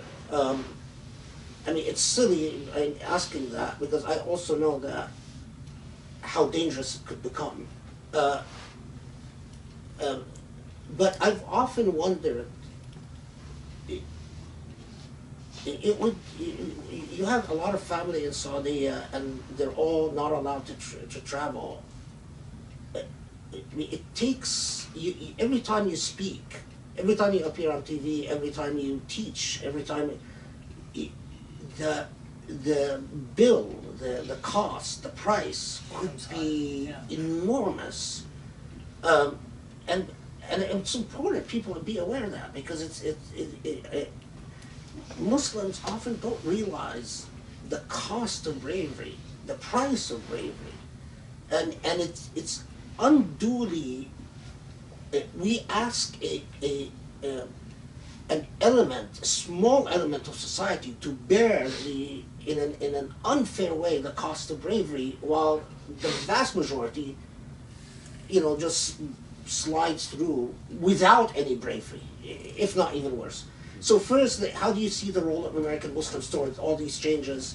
And then, if you want to say anything about the the challenges that you personally meet and how you're handling them. Sure, I'll combine the two questions by saying that, uh, well, it's so, uh, it's so much easy for me and for so many others to just sit or try try to be part of the part of the gang and and and got a scholarship and got supported and promoted and uh, got praised uh, in Saudi state TVs or, or, or state sponsored TVs in general. Uh, it's so much easier and, and, financially much better to uh, just take that uh, easy path, easy path. But that's just uh, against everything that we, we learned. That just against the knowledge that we have been uh, taught with all, all, all our lives. Uh, but you always yani, uh, enforces that. But you always enforce the idea that knowledge is not just uh, learning details and things, but it it, it, it, it, it, it haunts you. It, it takes uh, uh, Allah عز وجل يقول لتبلون في أموالكم وأنفسكم you know, you'll be tested in, in, in your property, your belongings, and in in your very selves, inside yourselves. Yeah, and that's uh, uh, part of part of faith itself. Uh, faith in general, faith in Allah subhanahu wa ta'ala, and faith in religion, faith in justice. Uh, Allah subhanahu wa ta'ala set this earth on justice. Uh, and Allah subhanahu wa ta'ala built it on justice. And, and, and to be just and fair for everyone. And fighting for that is part of the faith and religion. And, and, and it's, it's, you have the choice. That's what Allah subhanahu wa ta'ala said, وَهَدَيْنَاهُ النَّجْدَيْنِ And we opened up the two paths for you. So the one path, the easy path, is just to sit and stay and you get money, you get job, you get uh, comfort from everyone. Or the other path, where you know you, you will fight, you will always struggle, you will always be, uh, face uh, uh, challenges, and, and, and challenges is just a very uh, uh, light word to describe it. Uh, but with these challenges, always uh, open up uh, new paths for hope. Uh, You'll face trials and tribulations, and often the tribulations are very severe. Very true, and and and uh, as Grace has today told you that uh, about the, the the other half and how to embrace everything and to look. Oh, the, the, that's uh, he's referring to half full, half empty. I- I'm the half empty. Grace is uh, half full. that's what that what that's what Abdullah referring to. Yeah. So go on. I'm sorry. To, I just want to clarify. So yeah, it's uh, to see to see through things uh, is really important. That's when Allah. subhanahu- Yani, I- I remember like one of the very great scholars in Islam, I think Ibn Rajab, who said Allah subhanahu wa ta'ala did not just say uh, إن بعد العسر يسرا or uh, قبل العسر يسرا. Allah said مع العسر يسرا. Uh, It's not. It's not. Allah didn't say that. After hardship, there will be ease. Allah said, with hardship, there will be ease. Exactly. So accompanying that hardship is the ease and the, the, the new path for hope, for new hope. So, so we know that uh, these challenges. So, for, for the scholars uh, who, who, are now in exiles, uh, in exile, they have these two paths uh, to choose, uh, and, uh, to choose, and I chose uh, the the other The path hard one. yeah, the hard one, uh, and I know with that there will be a lot of challenges, there will be a lot of hardships, but inshallah I'll be uh, ready for that. And I know, and I, I'm uh, the second question, yes, I'm, I'm, I'm sometimes threatened, intimidated. Uh, they ask me to go back. I know people who are here in the States uh, who are followed even uh, or try to listen to. I know somebody here in the States. I know, like, not somebody, like, more than one was told by the authorities here that uh, they are uh, in danger, uh, and, and and so it's it's it's it's a real uh, it's a real struggle, and and uh, and, and that threat is sometimes physical, uh, sometimes uh, electronic. Electronic. I mean, uh, uh, like a friend of mine, Umar Aziz, his cell phone was hacked, and they listened to his. They wanted to. Uh, they tracked him. They wanted to know, and they tracked uh, his cell phone in his and, and his communication with Jamal Khashoggi just before the killing of Jamal Khashoggi. So it's. I mean, hacking the cell phones was not just hacking cell phone, listening to you, surveilling you. It's it's uh, it's real. You know, uh, uh, I just for people, because people need to know this. I, I know someone. Um, he apparently had a, a private uh, video on his phone of an intimate moments between him and his wife. So they hacked into his phone and The they used the video. They contacted them. They said, "We have the video from your phone," and intimidated him. uh, extort. I mean, basically got him to uh, become a Sisi supporter under threat of releasing that video. So be careful with your phones. Um, what you put on your phones, they're they're not safe. Um, I mean, it, it, I, I know this fellow, so uh, the the story, which was very positive because he switched overnight, and I, I was I really wanted to know what happened. I mean, it just didn't sound like him, and it turned out that he... sing his switch to our life. I, I mean, the way, and, I'm now going to have questions, Rob, but I, I, I say I pray, and I really, in, throughout Ramadan, especially in Ashr al-Awakhir, and, and uh, especially after, uh, after uh, Shafa al-Witr, I, I always yani do that Allah removes the hardship for, for all political prisoners, but also that I I see the day that your father is a free man. Um, I, I think an ummah, a nation, and we are a nation as Muslims. The amount of blessings, the extent to which Allah answers the prayers of a nation is in direct proportion to the fate of its scholars and its Rabbaniyun, the, the, the, those who are closest to Allah. The men and women who are close to Allah because of their piety or because of their knowledge and so on, if they suffer and if they're persecuted and the Ummah just stands by and allows it, I believe that's the time that Allah says, I'm not answering your prayers. You don't deserve to have your prayers answered.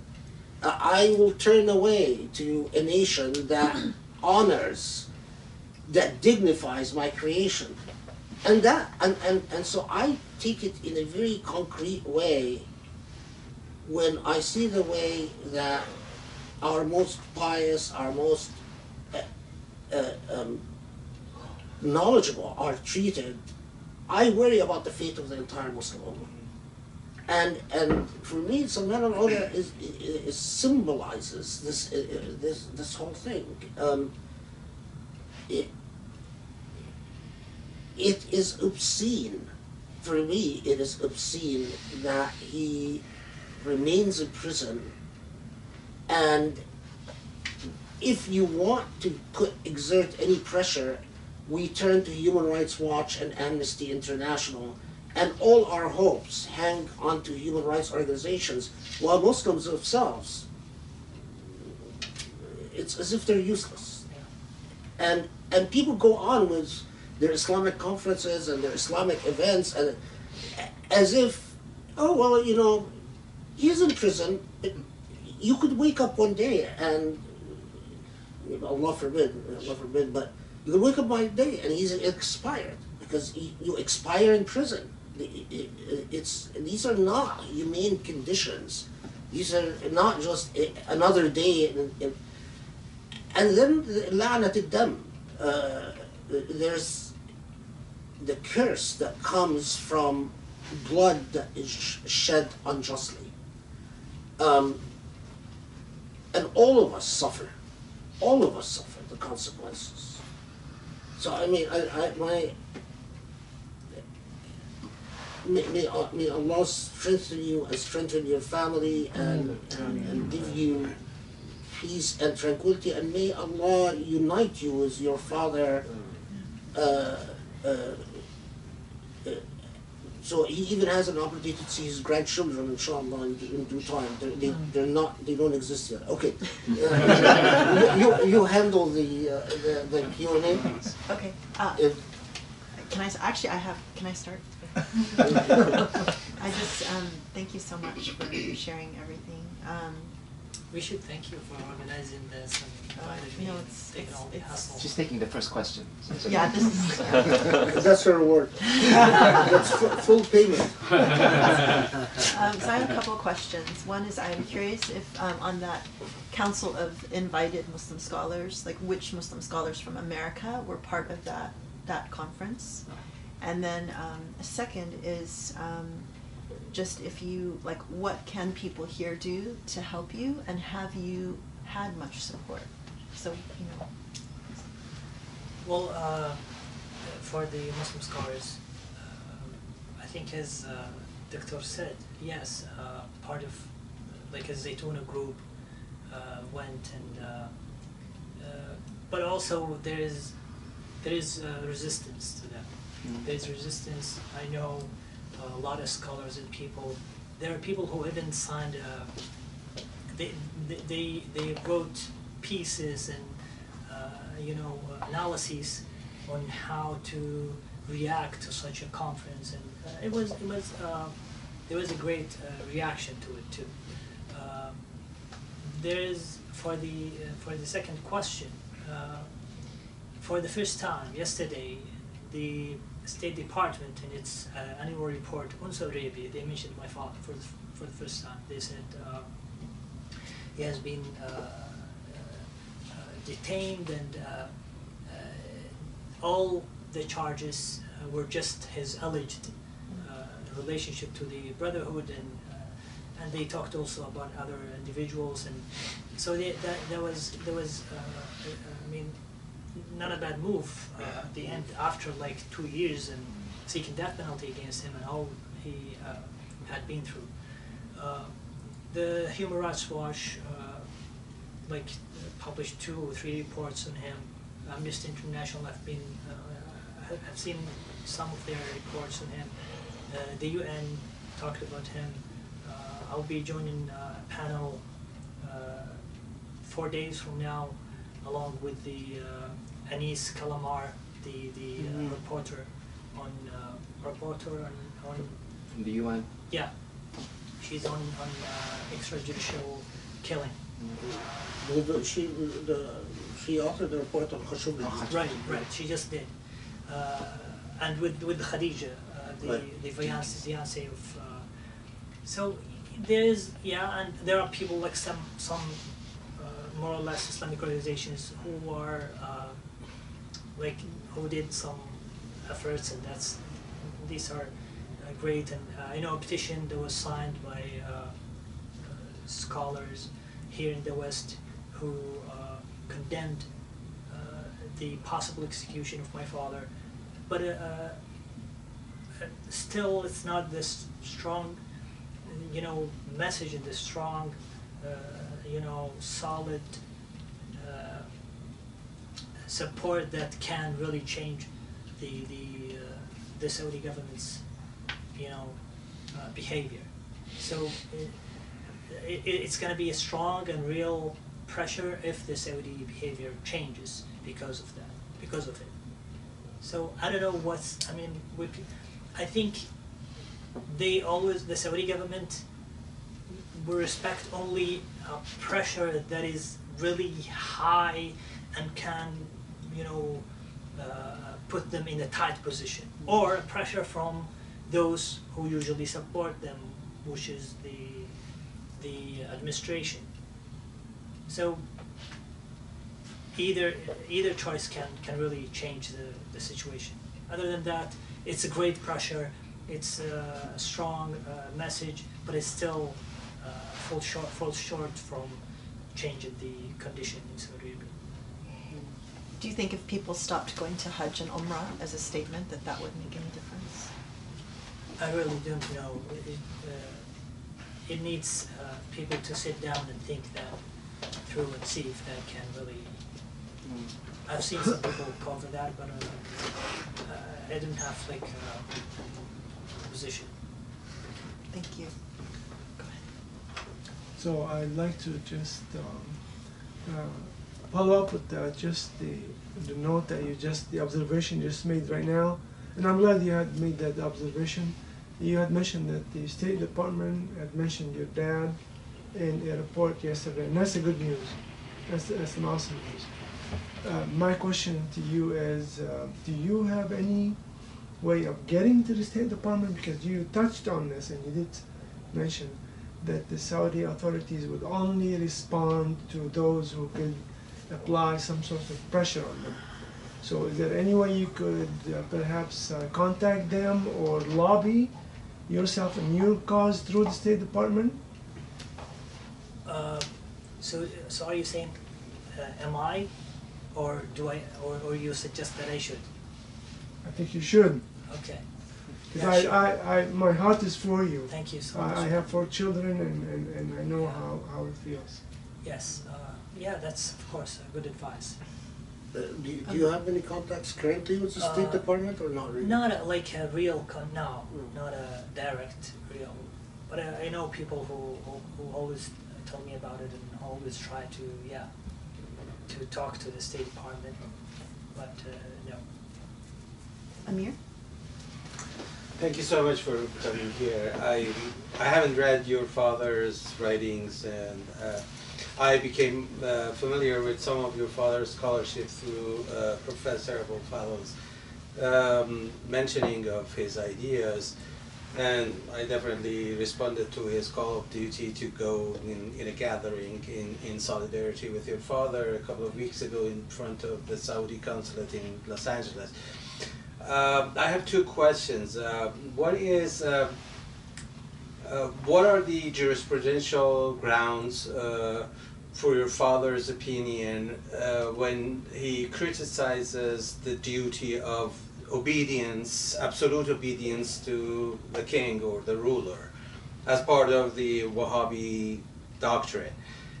My second uh, question is, um, of course, we know that the um, so-called movement, I mean, a little movement that happened in 1979 in um, Saudi Arabia, was mostly a, um, a, a, a adhere to a certain version of millennialism and uh, probably not not so um, progressive at the time. Did your father criticize that I mean, the ideas behind that movement, or ho- what was your father's re- uh, uh, uh, theoretical uh, reaction to that movement? Yeah. Uh, for the second uh, question, Sure. uh, more easier. The easier qu- is is that he's he's uh, yeah he criticized the you mean like the the, the militant That's right. Yes. taking over of uh, Mecca Of Mecca. by Juhayman al-Otaybi. Right, right, right. Yes, he criticized that in, in different uh, uh, in in various uh, points, and he, he wrote on that. Uh, Uh, what are the theoretical arguments that he made? yeah, he said he he's like the general idea of uh, disturbing the peace by using military force against the people Okay. is always uh, that's that's the real rebellion. That is uh, the, that's the the scholars traditionally uh, are against the disturbing the peace, uh, making a military, uh, you know, intervention uh, against the people, against society. That's that was the the the ground, the Right. jurisprudence. For this first question, well, he always touches upon the idea that uh, uh, uh, a bay'ah, uh, allegiance, is a two-way, uh, you know, ground. It's you have you have the conditions, and you have the the requirements. Uh, you have the the the obligations upon the people to to uh, to uh, obey, but you have also the obligations upon the ruler to uh, be fair and just, and to be criticized and to be corrected if they were wrong. So he has that like conditions of the bay'ah. So and he always says that the bay'ah is like the bay'ah. The bay'ah is like uh, derived from the from the same from the same bay, bay'ah and bay'ah were derived from the same uh, origin. Bay'ah, bay'ah, wa ba'a. So he said the bay'ah and bay'a were a contract between two uh, individuals or two parties, and each individual has to hold up to their uh, End of bargain. deal the yeah end of the bargain, and and and the and, and for the ruler, they have to uh, obey the general rulings of being just, of being uh, consultative, of being uh, fair to uh, and and to be uh, able to criticize. Uh, and and for the for the subjects or for the citizens to obey, they have to see the, the other end of the bargain being being honored. So he said that's that's the, the idea, the concepts of the conditions of the bay'ah. Bay'ah is between two individuals. It's not like one way uh, uh, street where the ruler uh, like just requires anything upon the rules ruled and, and then they will just listen and, and obey. Uh, but it's two two party uh, contract and also there's the concept of the conditions of the of the allegiance. Did, did I did that did that make sense? Yeah, I would uh, uh, appreciate if you draw the distinctions between your father's um, Oh. contractarian um, theory, which is very much upheld uh, throughout the Islamic tradition, legal tradition. Right. Um, And the- the- the with the one that the Wahhabi Yeah. Salafi uh, theory is uh, offering, because I can assume that yes, the the, the Wahhabi um, doctrine would also start with this type of argument, but, Yeah, but they there there it- be some True. distinctions, True. of course. Yeah. Yeah, they developed it into a way now the current like understanding of how the obedience to the ruler is is just to obey whatever the ruler says. Right. Uh, you, you do not criticize uh, the ruler. You do not engage in any kind of negotiation or discussion with the ruler. You just obey. And even if the ruler, uh, for example, requires you to do an unjust and unfair thing, you have to do it because the ruler says so. So that's that's just, uh, because they said like the ruler uh, أطع ولي الأمر ولو they they always use the hadith أطع ولي الأمر ولو جلد ظهرك وأخذ مالك even if the ruler uh, take Beats you and takes yeah your money. beats you and takes your money or takes your positions your possessions But how do they rule away يا أيها الذين آمنوا أطيعوا الله و- وأطيعوا الرسول وأولي الأمر منكم وأولي الأمر منكم that's it's conditional upon طاعة الله وطاعة الرسول like you said Yeah, and And also then- the and then لا also طاعة لا- لي- لا- لا طاعة Exactly. لمخلوق Yeah, they said they always said لا طاعة للمخلوق في معصية. I mean, some of the like uh, scholars said like لا طاعة للمخلوق في معصية الخالق. They said uh, it's also you have like they have the the, the lesser uh, uh, الأقل ال- أخذ أقل المفسدتين. The Yeah, lesser, the, the, the lesser harm. That's what I thought. yeah, the less, yeah. Yeah, They said lesser the lesser evil. ev- uh, like evil, uh, uh, is to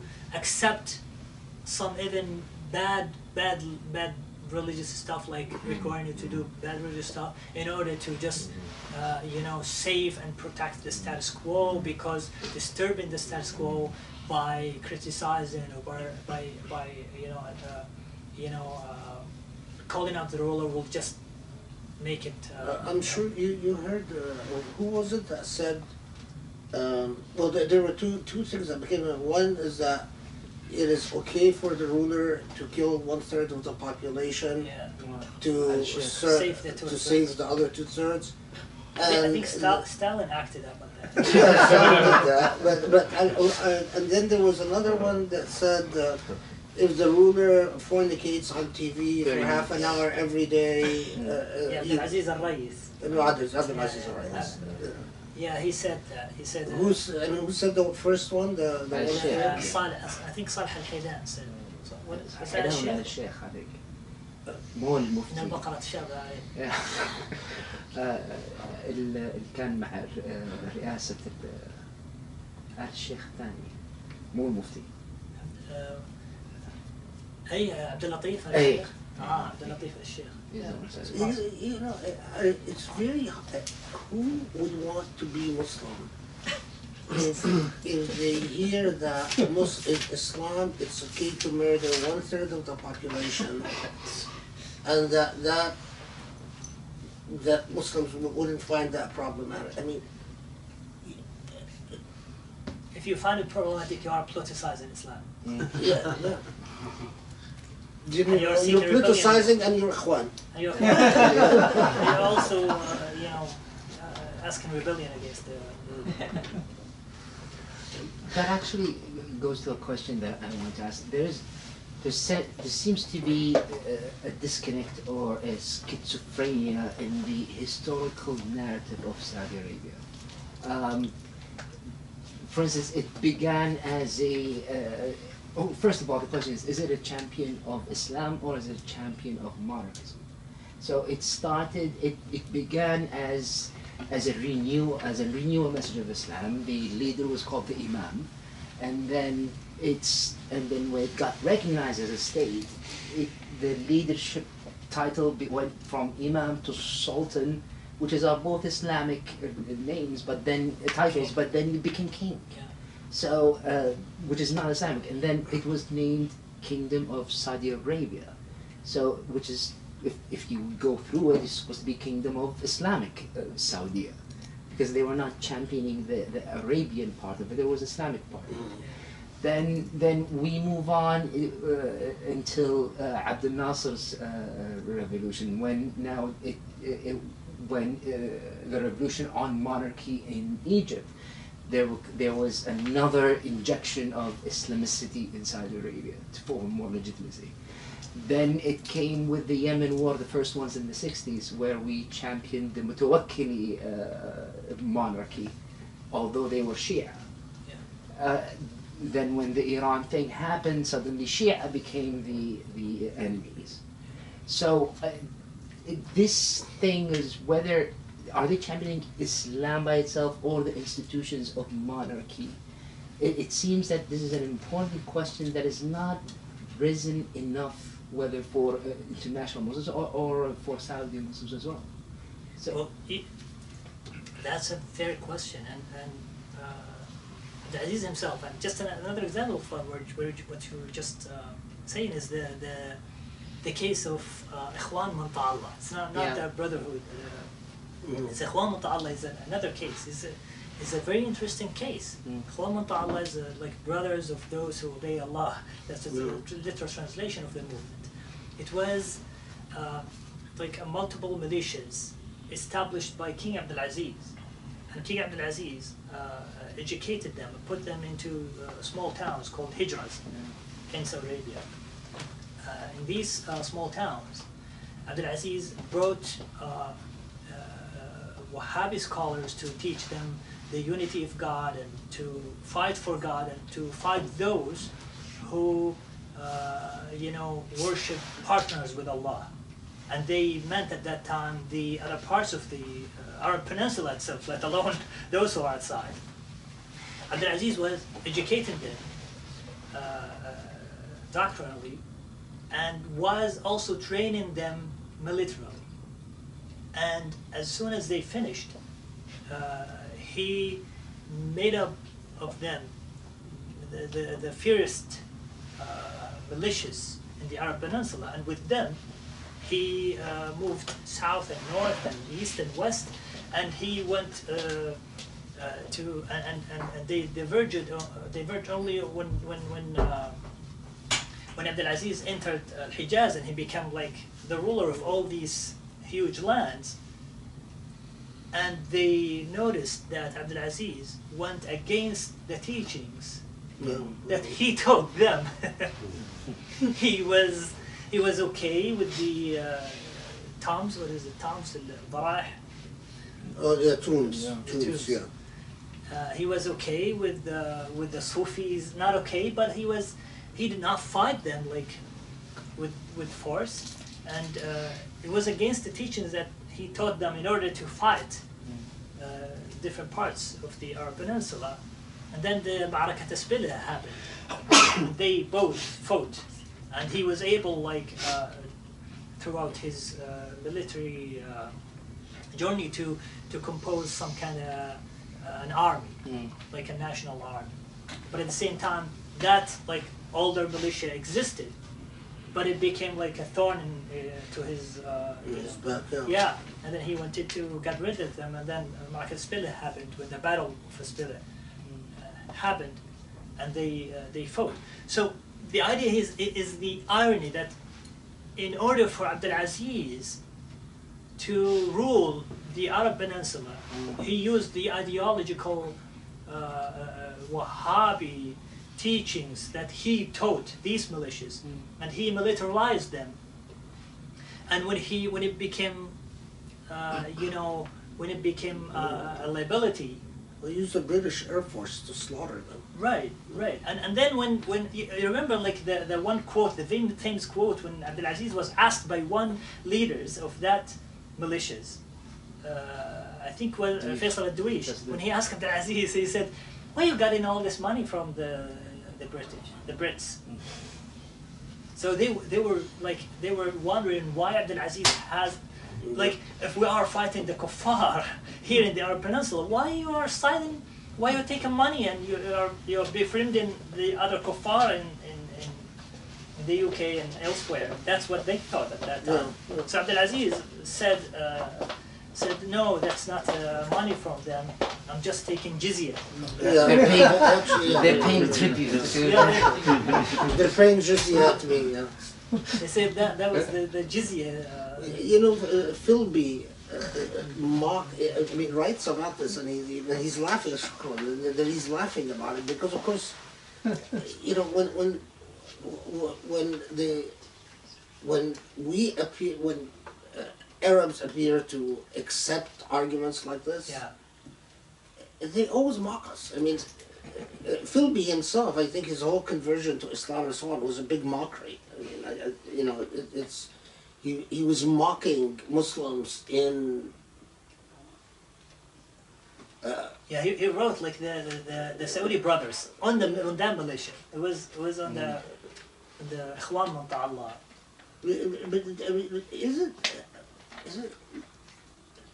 It, you, uh, when I started out in- the U.S., I remember when I used to, when I first started talking about the Wahhabi movement and the history, of it, there was a certain Qudsiyya, there was a certain holiness to eh, pointing the finger at the Khadam al-Haramain uh, uh, al-Sharifin, you know, the, the guy, the, the servant of the Holy, how dare you, how can you criticize, the, the, they have the, the but, but isn't someone like MBS worried about the withering away of this sanctity, of this holiness?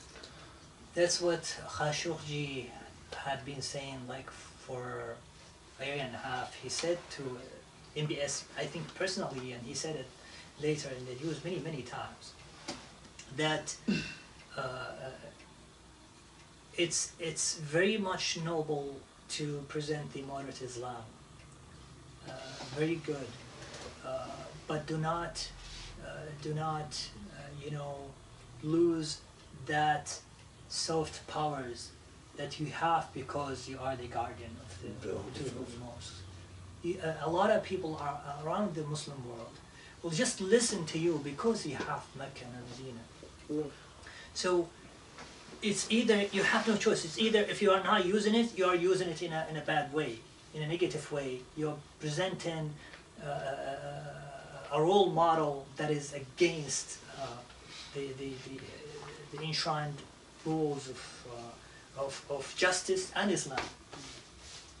So he was saying that uh, uh, you have no choice. You have, I mean, Saudi Arabia was based on that religious doctrine.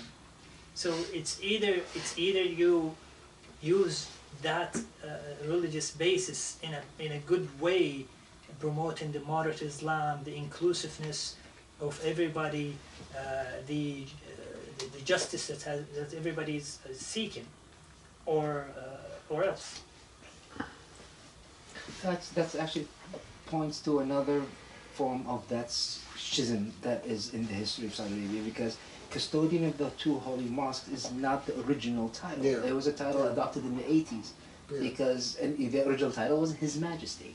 Yeah. And there's, there used to be like a, Yeah. a an anecdote of why it was changed. It was when uh, I think King Fahd at that time went to a visit to uh, to the Masjid al-Nabawi in Medina, and then the TV uh, Samara Isa, the TV anchor, he said that the, uh, the His Majesty the King has blessed the mosque by his visit.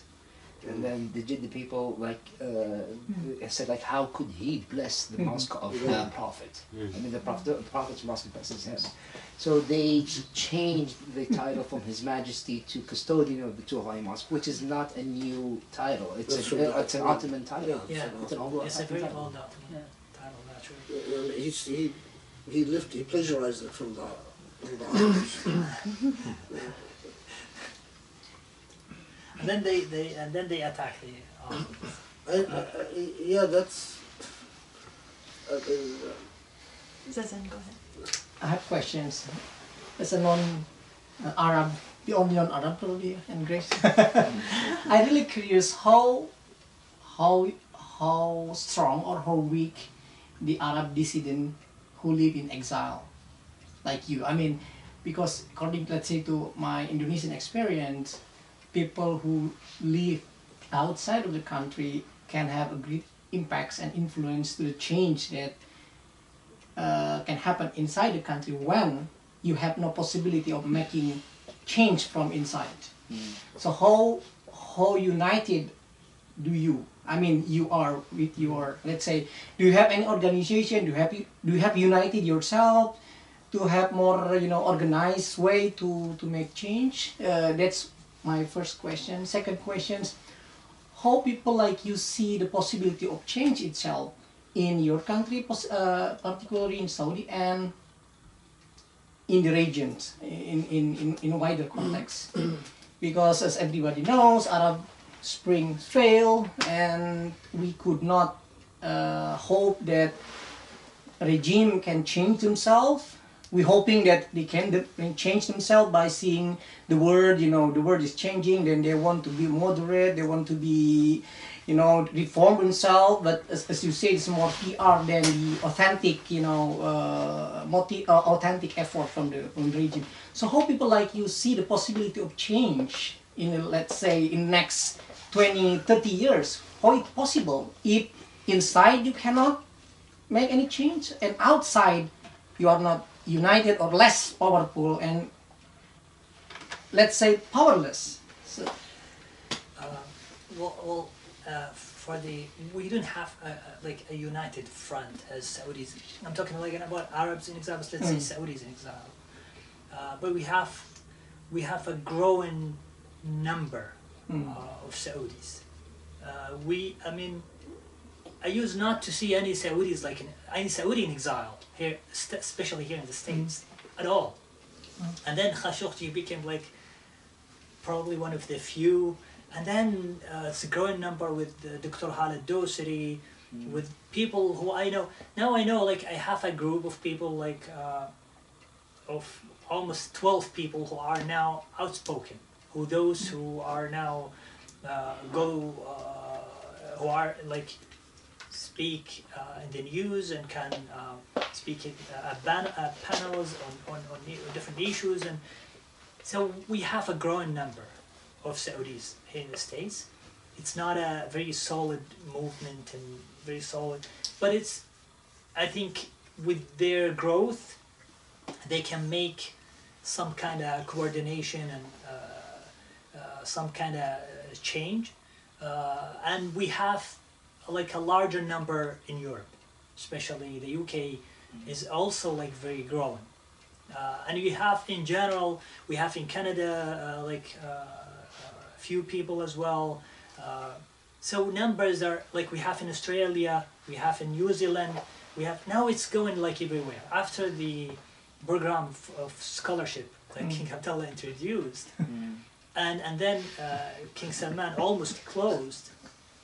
You got uh, like people Saudis like everywhere, and and and those who who who ended up seeing uh, like their society uh, being closed up like this will just stay at, at the, the, the you know their own um, yeah the, the, the countries that uh, they, they, they, they went to and will make uh, their own community uh, in, in anywhere that they uh, went to so yeah we have a growing numbers so a great number of Saudis. Uh, we are not so much uh, solid as you may suggest or want, but I think it's going, it's going to happen. Uh, at, at, at, I mean, at, at one point in the future. Uh, for the second question, uh, will there be any change? I think, and that's where I uh, disagree with a lot of Saudis them themselves. I think there will be a change uh, in the near future, but I cannot, I cannot, I cannot say when, where, and why. I still have that uh, optimistic uh, part, and always optimistic.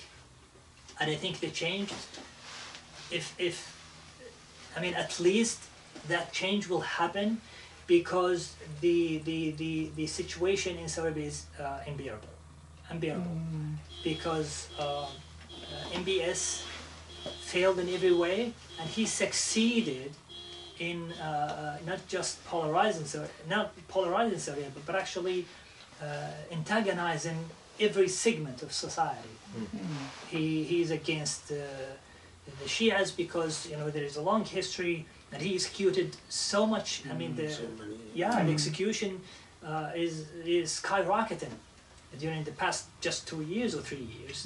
Uh, you have the, the I mean the the, the um, so much of the feminists have a grudge on uh, to, to because of the of how MBS treated the feminists and women rights, uh, women human rights uh, defenders, female human rights defenders in Saudia, and the Islamists, of course, they have so much problem with MBS, and you have that uh, uh, problem everywhere because he he he tried to uh, try to chalk the, the, the public sphere. So even the economists uh, hate him because the plan is not working very well. A lot of people, uh, I mean, the, the number of people, and, and that I, I just heard like last month, people who said like uh, uh, one of the close circle of MBS himself told him like in the past two months or so that uh, the youth are, are even like not happy. Uh, those even who go to, for example, dance in a concert, they also have concept. They have religion. They have their own.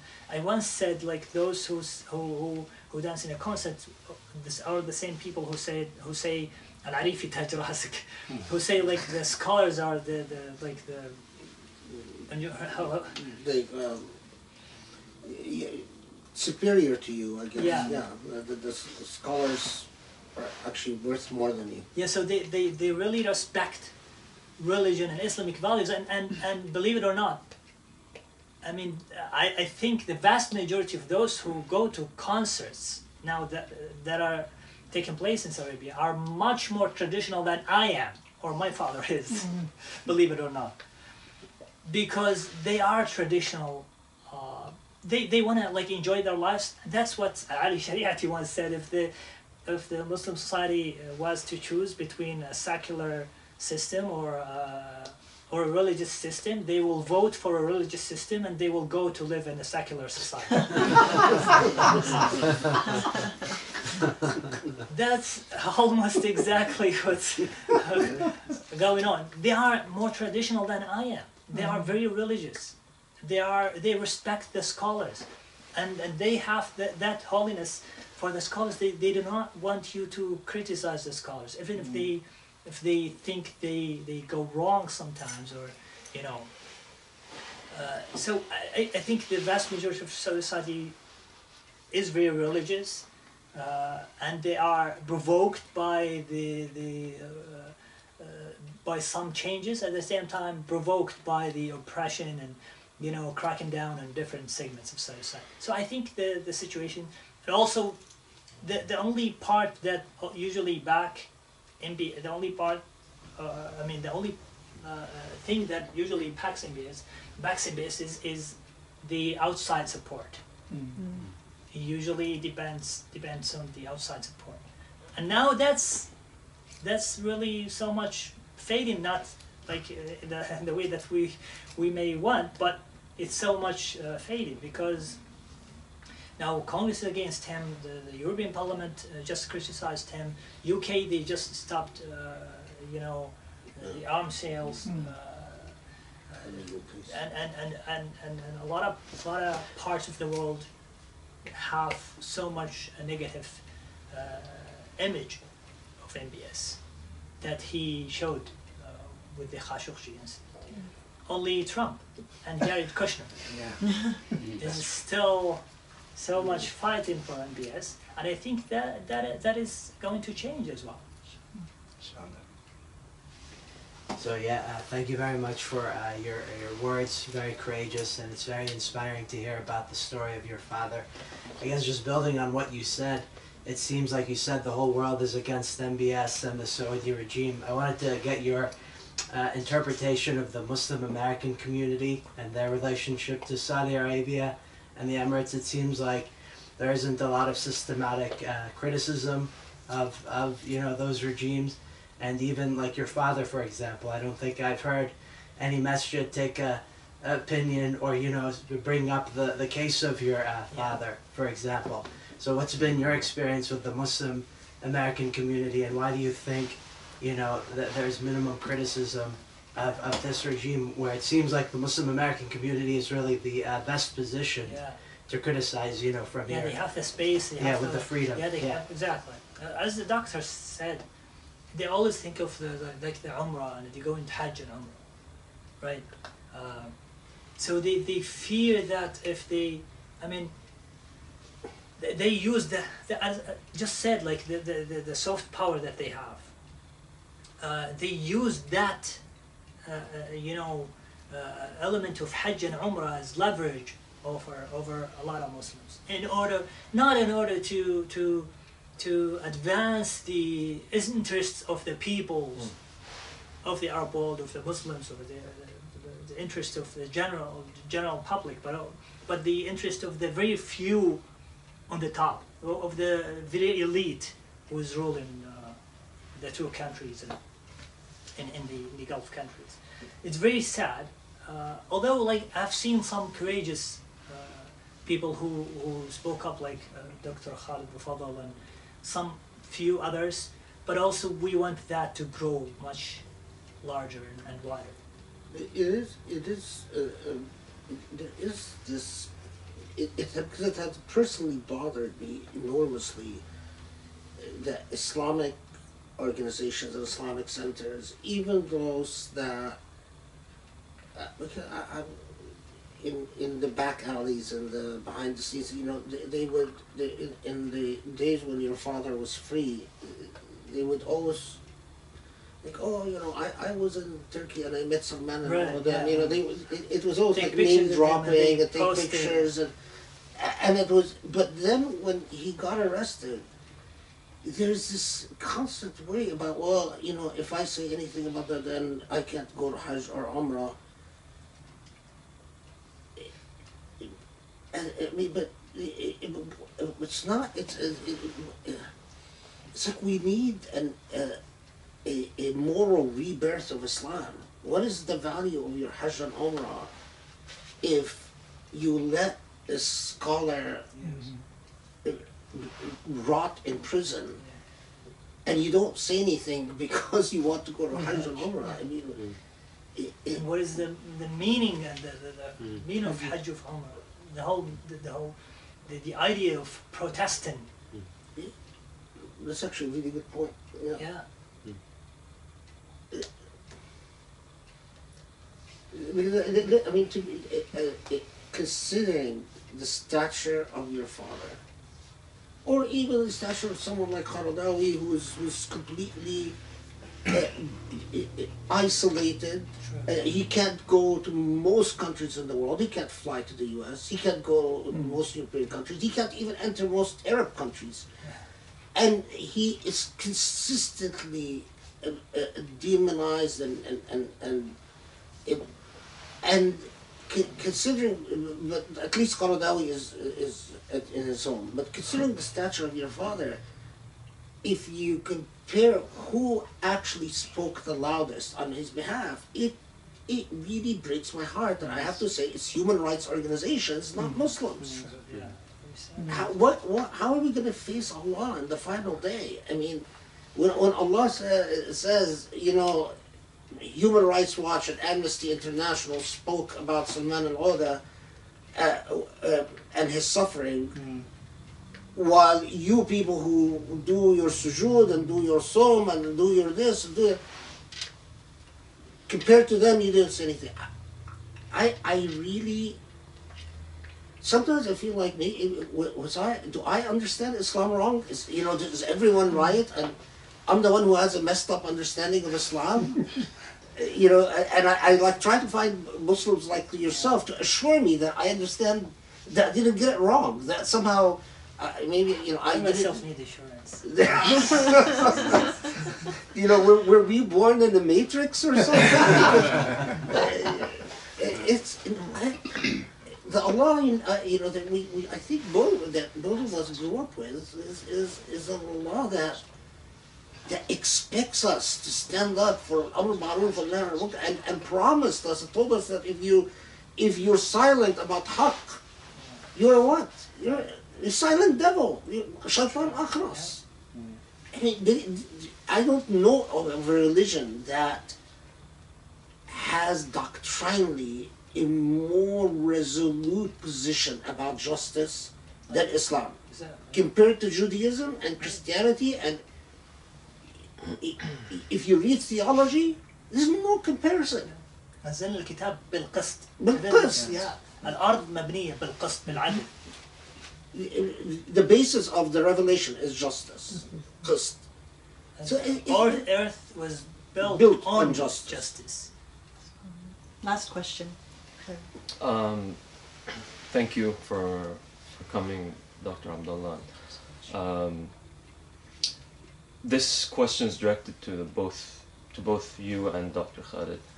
Um, Dr. Khaled, you in your last khutbah were talking about ethics and morality being indivisible in the idea of you know, people speaking the truth and talking of justice, regardless of where the justice, the injustice may be happening. Um, this is touching, my question is touching on what can be done amongst Muslims in America, particularly, um, with regards to issues that we face here and then issues abroad. So, like um, Sheikh uh, Salman Oda dealing with that issue.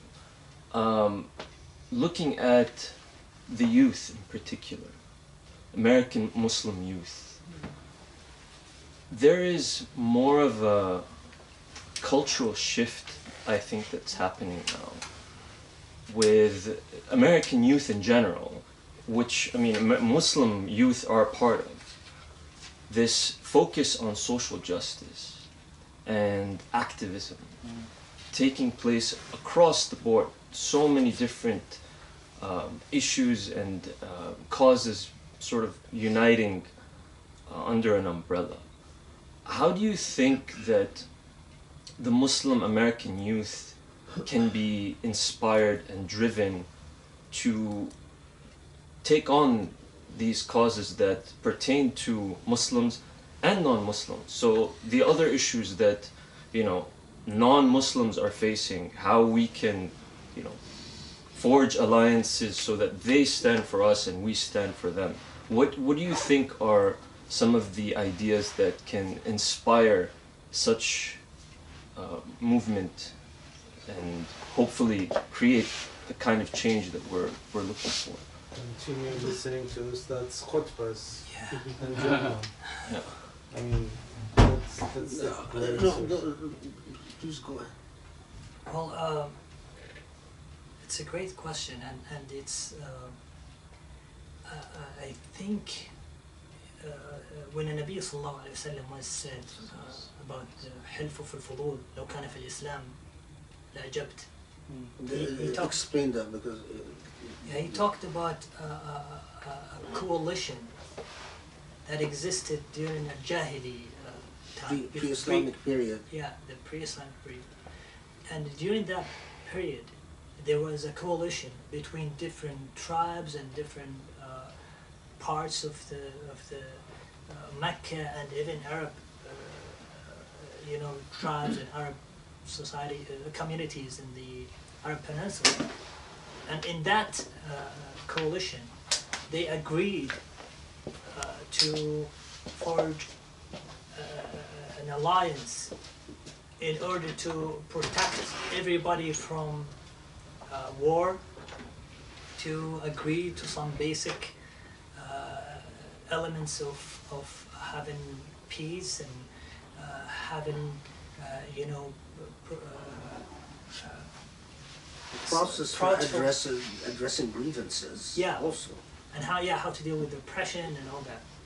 So Anabi Sallallahu said that happened before Islam uh, was born, and and if uh, if that happened during uh, during Islam, I will definitely attend that because attending that means agreeing to the basic human need for peace, for justice, and whoever uh, you know, uh, whoever defends that is, is a person that you can agree with, is a person you can have an alliance with.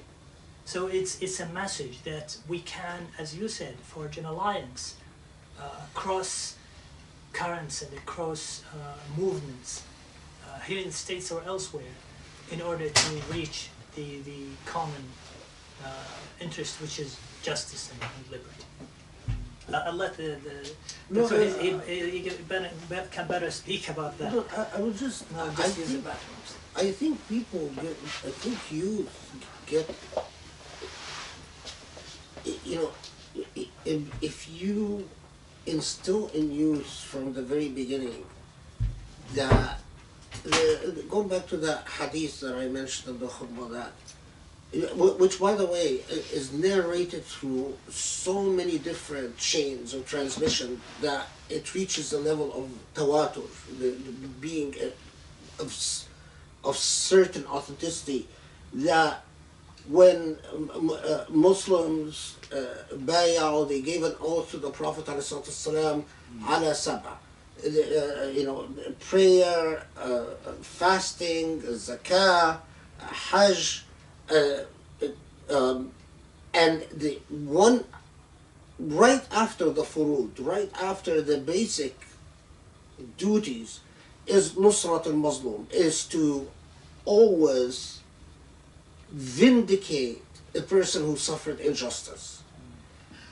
Now, if you if you re, if you're if you basically coming to to youth and telling them from the very beginning that what your religion is about is yes anchoring your soul in these practices but they must translate into a a, a, a justice project that is consistently resisting injustice.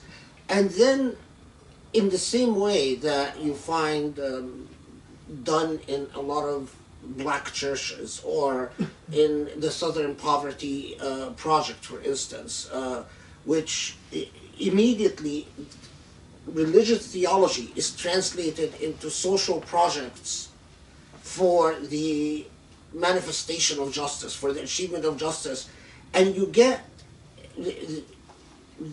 young people excited about the idea how many times can, can, can youth get excited about talking about prayer or, or talking about hijab or talking about uh, what are the rules of mixing between the sexes? They get bored and they, then they get bored of the entire thing. But if actually you're involving them in, in social projects and you're giving them new causes. Oh, uh, you know, everyone, you know, a great scholar called Salman Alaoudh is in prison, and we must not quit. And why? Because as a matter of principle, a scholar of Islam, uh, these are the inheritors of the Prophet himself, والسلام, and we in America America is the leader of the free world, give them the, the ideology.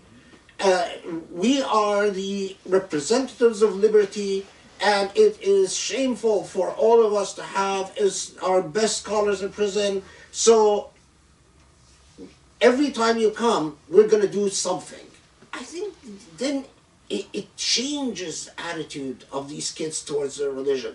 Then their religion doesn't stand for stupidity and backwardness and uh, you know uh, intellectual lethargy because that's the attitude. And then when Islamophobia comes, they laugh at it because we, we don't have time for the stuff that Islamophobia are talking about. We're busy with actual causes. We're feeding the poor, we're helping the homeless, we're liberating politi- prisoners. We're, then you get excited about Islam. But the way we're doing things, it really not just connects as a psychological matter, it creates associations in their, their psychology between Islam and stupidity hmm. and intellectual lethargy, laziness.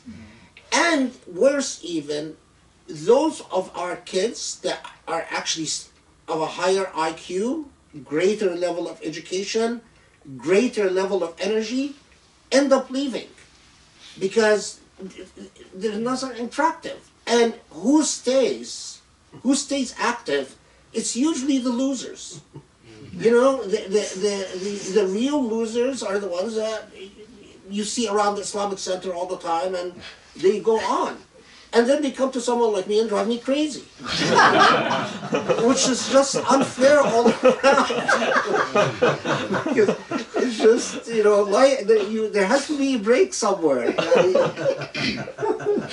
I remember like one scholar who, who, who, uh, who works with the interpretation of uh, the ayah وَتَعَاوَنُوا عَلَى الْبِرِّ وَالتَّقْوَى. On that, on the coalition that you're talking about. And, uh, he said, تعاونوا على البر والتقوى. He said, Allah subhanahu wa ta'ala says al-birr before at-taqwa.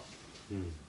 Join together in achievement of, of, of uh, Good, goodness, goodness yeah. as a social cause. Yeah. And taqwa. And taqwa. And, so he said, wait. goodness between you and everybody. Muslim, non-Muslim, mm -hmm. uh, relative, non-relative, uh, uh, uh, you know, close or far, uh, but a taqwa is between Muslims because you have to, or, or at least those who believe in, in a taqwa and believe in Allah subhanahu wa ta'ala, believe in piety. So he said, that's al-bir. Al-bir ta'awanu al bir We have to cooperate in achieving goodness. Goodness is, is very large and very noble, uh, you know, concept. Can can be justice for for for uh, for the marginalized, uh, for the Latinos, the, the African Americans, uh, for those who are uh, looked at, uh, look, looked down at, like uh, the, the, the kids, the, and then can be also like a civil movement that defends the basic rights of everybody, can be defending the minorities, uh, the religious minorities even. So defending the religious minorities will just reinforces your own understanding and interpretation of, of your religion itself and they will even understand your religion by your exercise of that protection, of exercising that that uh, you know behavior of defending the others instead of just preaching uh, like uh, Islam and not thinking of what Islam means in your in your life. And just building on things we've talked about here is like using the, the tools of communication and marketing and PR to take those very messages and create a Muslim identity around social justice, not around ethnicity, not Yes. around, mm-hmm. you know, all the typical stuff that people say, hijab or whatever. But, you know, like what you were saying about justice is more central to our faith than any other monotheistic faith. And then giving that sense of pride to Muslim youth. It's like Yes. this is what it means to be Muslim: is that you are on the cutting edge of justice, and that you are setting an example, and to be proud. You know these traditions that show, you know, this is what we do, and that gives then you know that energy and pride that you know okay I can I'm Muslim because this is what Muslims stand for, and that's what's missing I think right now too. too. Uh, uh, yeah, absolutely, absolutely. So. Um, g- uh, in closing, can I just say something very quick that, you know, we often, I often get asked, what if the Usuli Institute had money, what would you, what the Usuli Institute do? And I'm just, I, I, I, I know that, I, you know, just in case out there, Allah wills it, and someone who has money, uh, uh, the dream, the dream is to if if the Usuli Institute had was properly endowed, properly supported, hmm. it would come to scholars, young rising scholars like Abdullah, and offer them a postgraduate fellowship. Hmm. Because we need that thought. We need we, we need to support young scholars at risk who have no safety net. Yes. They have no safety net. It, it, you know, it's. It, I still remember when I was at that age, and you're you're you're looking for it, and you say, you know, I don't know what tomorrow will bring.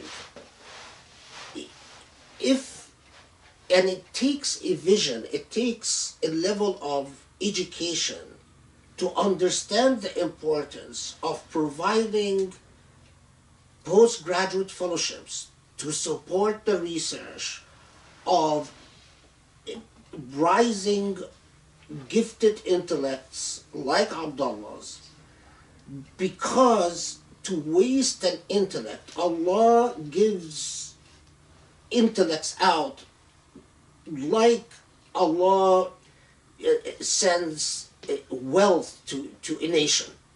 And a nation that wastes its intellects, an ummah that wastes its intellects, will never amount to anything. And the way that intellects are wasted is that if they're not supported, if, if you have an, an, intellect that is very rich and, and very sophisticated and very open and very willing to give, but then it finds that it has to worry about how it's going to make a living, how is it going to survive, how is it going to just put up with the normal but eventually it becomes exhausted and it withers away. And that's haram. So you know all those people who say well if the Usuli Institute had money uh, what would it be, would do? This is precisely what we would do. We you should come before the camera. No, no, oh, no, it's okay. I would just say if you can take it to the next level, because it's not just a fellowship, but if we, you know, we've talked about like creating a law school that is like the I, that is so. I mean, I am. But say I'm it. just. I would just be happy with, you know, just someone Responsibility say, yeah, it was just a residence program where you sponsor research, you sponsor publications, you support scholars until they find a permanent uh, university post. And of course, if Allah, you know, truly just, you know, Allah just removes the shaitan from the way of Muslims, then we would get enough of an endowment to actually start creating like a ten-year positions, and it becomes a a, a, a law school or or an actual. But I, I meet in my in my in my journey so many gifted young Muslim intellects, and my heart breaks as I know the struggle that is before them, and the it shouldn't be, and I'll say it very bluntly, it shouldn't be Christian money or Jewish money, or even you know non-Jewish, non-Christian, non uh, that supports them. It should be Muslim money and it supports them. It should support them because they. This is a nama from Allah, a great nama. I, I mean, I have been saying this for thirty years, by the way, and and. Uh, But it exists in the Jewish tradition, like Cardozo, right? So It- they're able to achieve that. It- Why it are we unable to achieve that? and and I, I'll tell you because I, I uh, when Jewish students when they start looking for fellowships to go to graduate school or after they finish graduate school there are so many Jewish fellowships not just to study in the Jewish tradition not just in that but even Jewish fellowships available to study Islamic studies Muslims, when you actually do research, you find there are only two or three, and they're very limited Yeah. amount of money. Eh, and and then you you compare the population of Muslims in the world to the population of Jews, or eh, and and, and it, it it it really it, and then you, you go to rich Muslims and and you tell them this is our responsibility. They, look at you and somehow this is I had an experience like that in Irvine. The, Ikhwan come up. Do you know that Hassan al-Banna was a British agent? I am talking to you about supporting the young I don't care about Hassan al-Banna and I don't care about the British agent. And I, you know, go back to the age of, go to a time, the time machine and go back to the the time of the, the I don't know. It, it's insanity. It's nuts.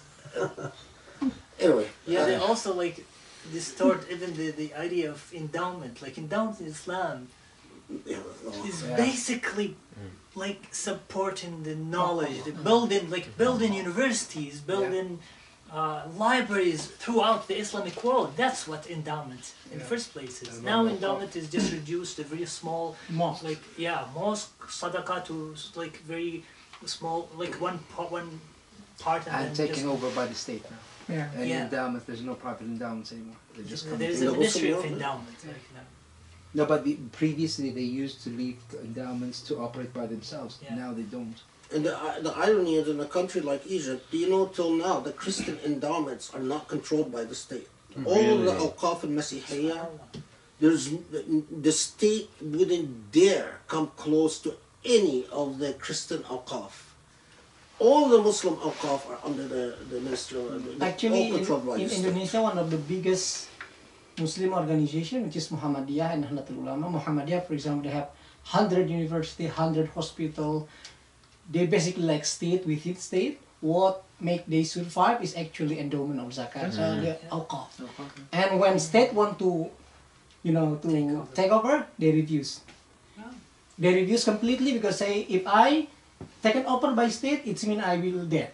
So they mm-hmm. know exactly the very basic mechanism of survival and they reject, including Nahdlatul Ulama. The Nahdlatul Ulama is not that sophisticated. The, the Muhammadiyah one is so advanced in in managing the awqaf, so they can really basically have every in every village a branch of Muhammadiyah and they build school, build madrasa and a hundred of hospital and orphanage, basically everything based on the awqaf, Well, based on awqaf. so we should all move to India. Yeah. Okay, uh, okay, come close.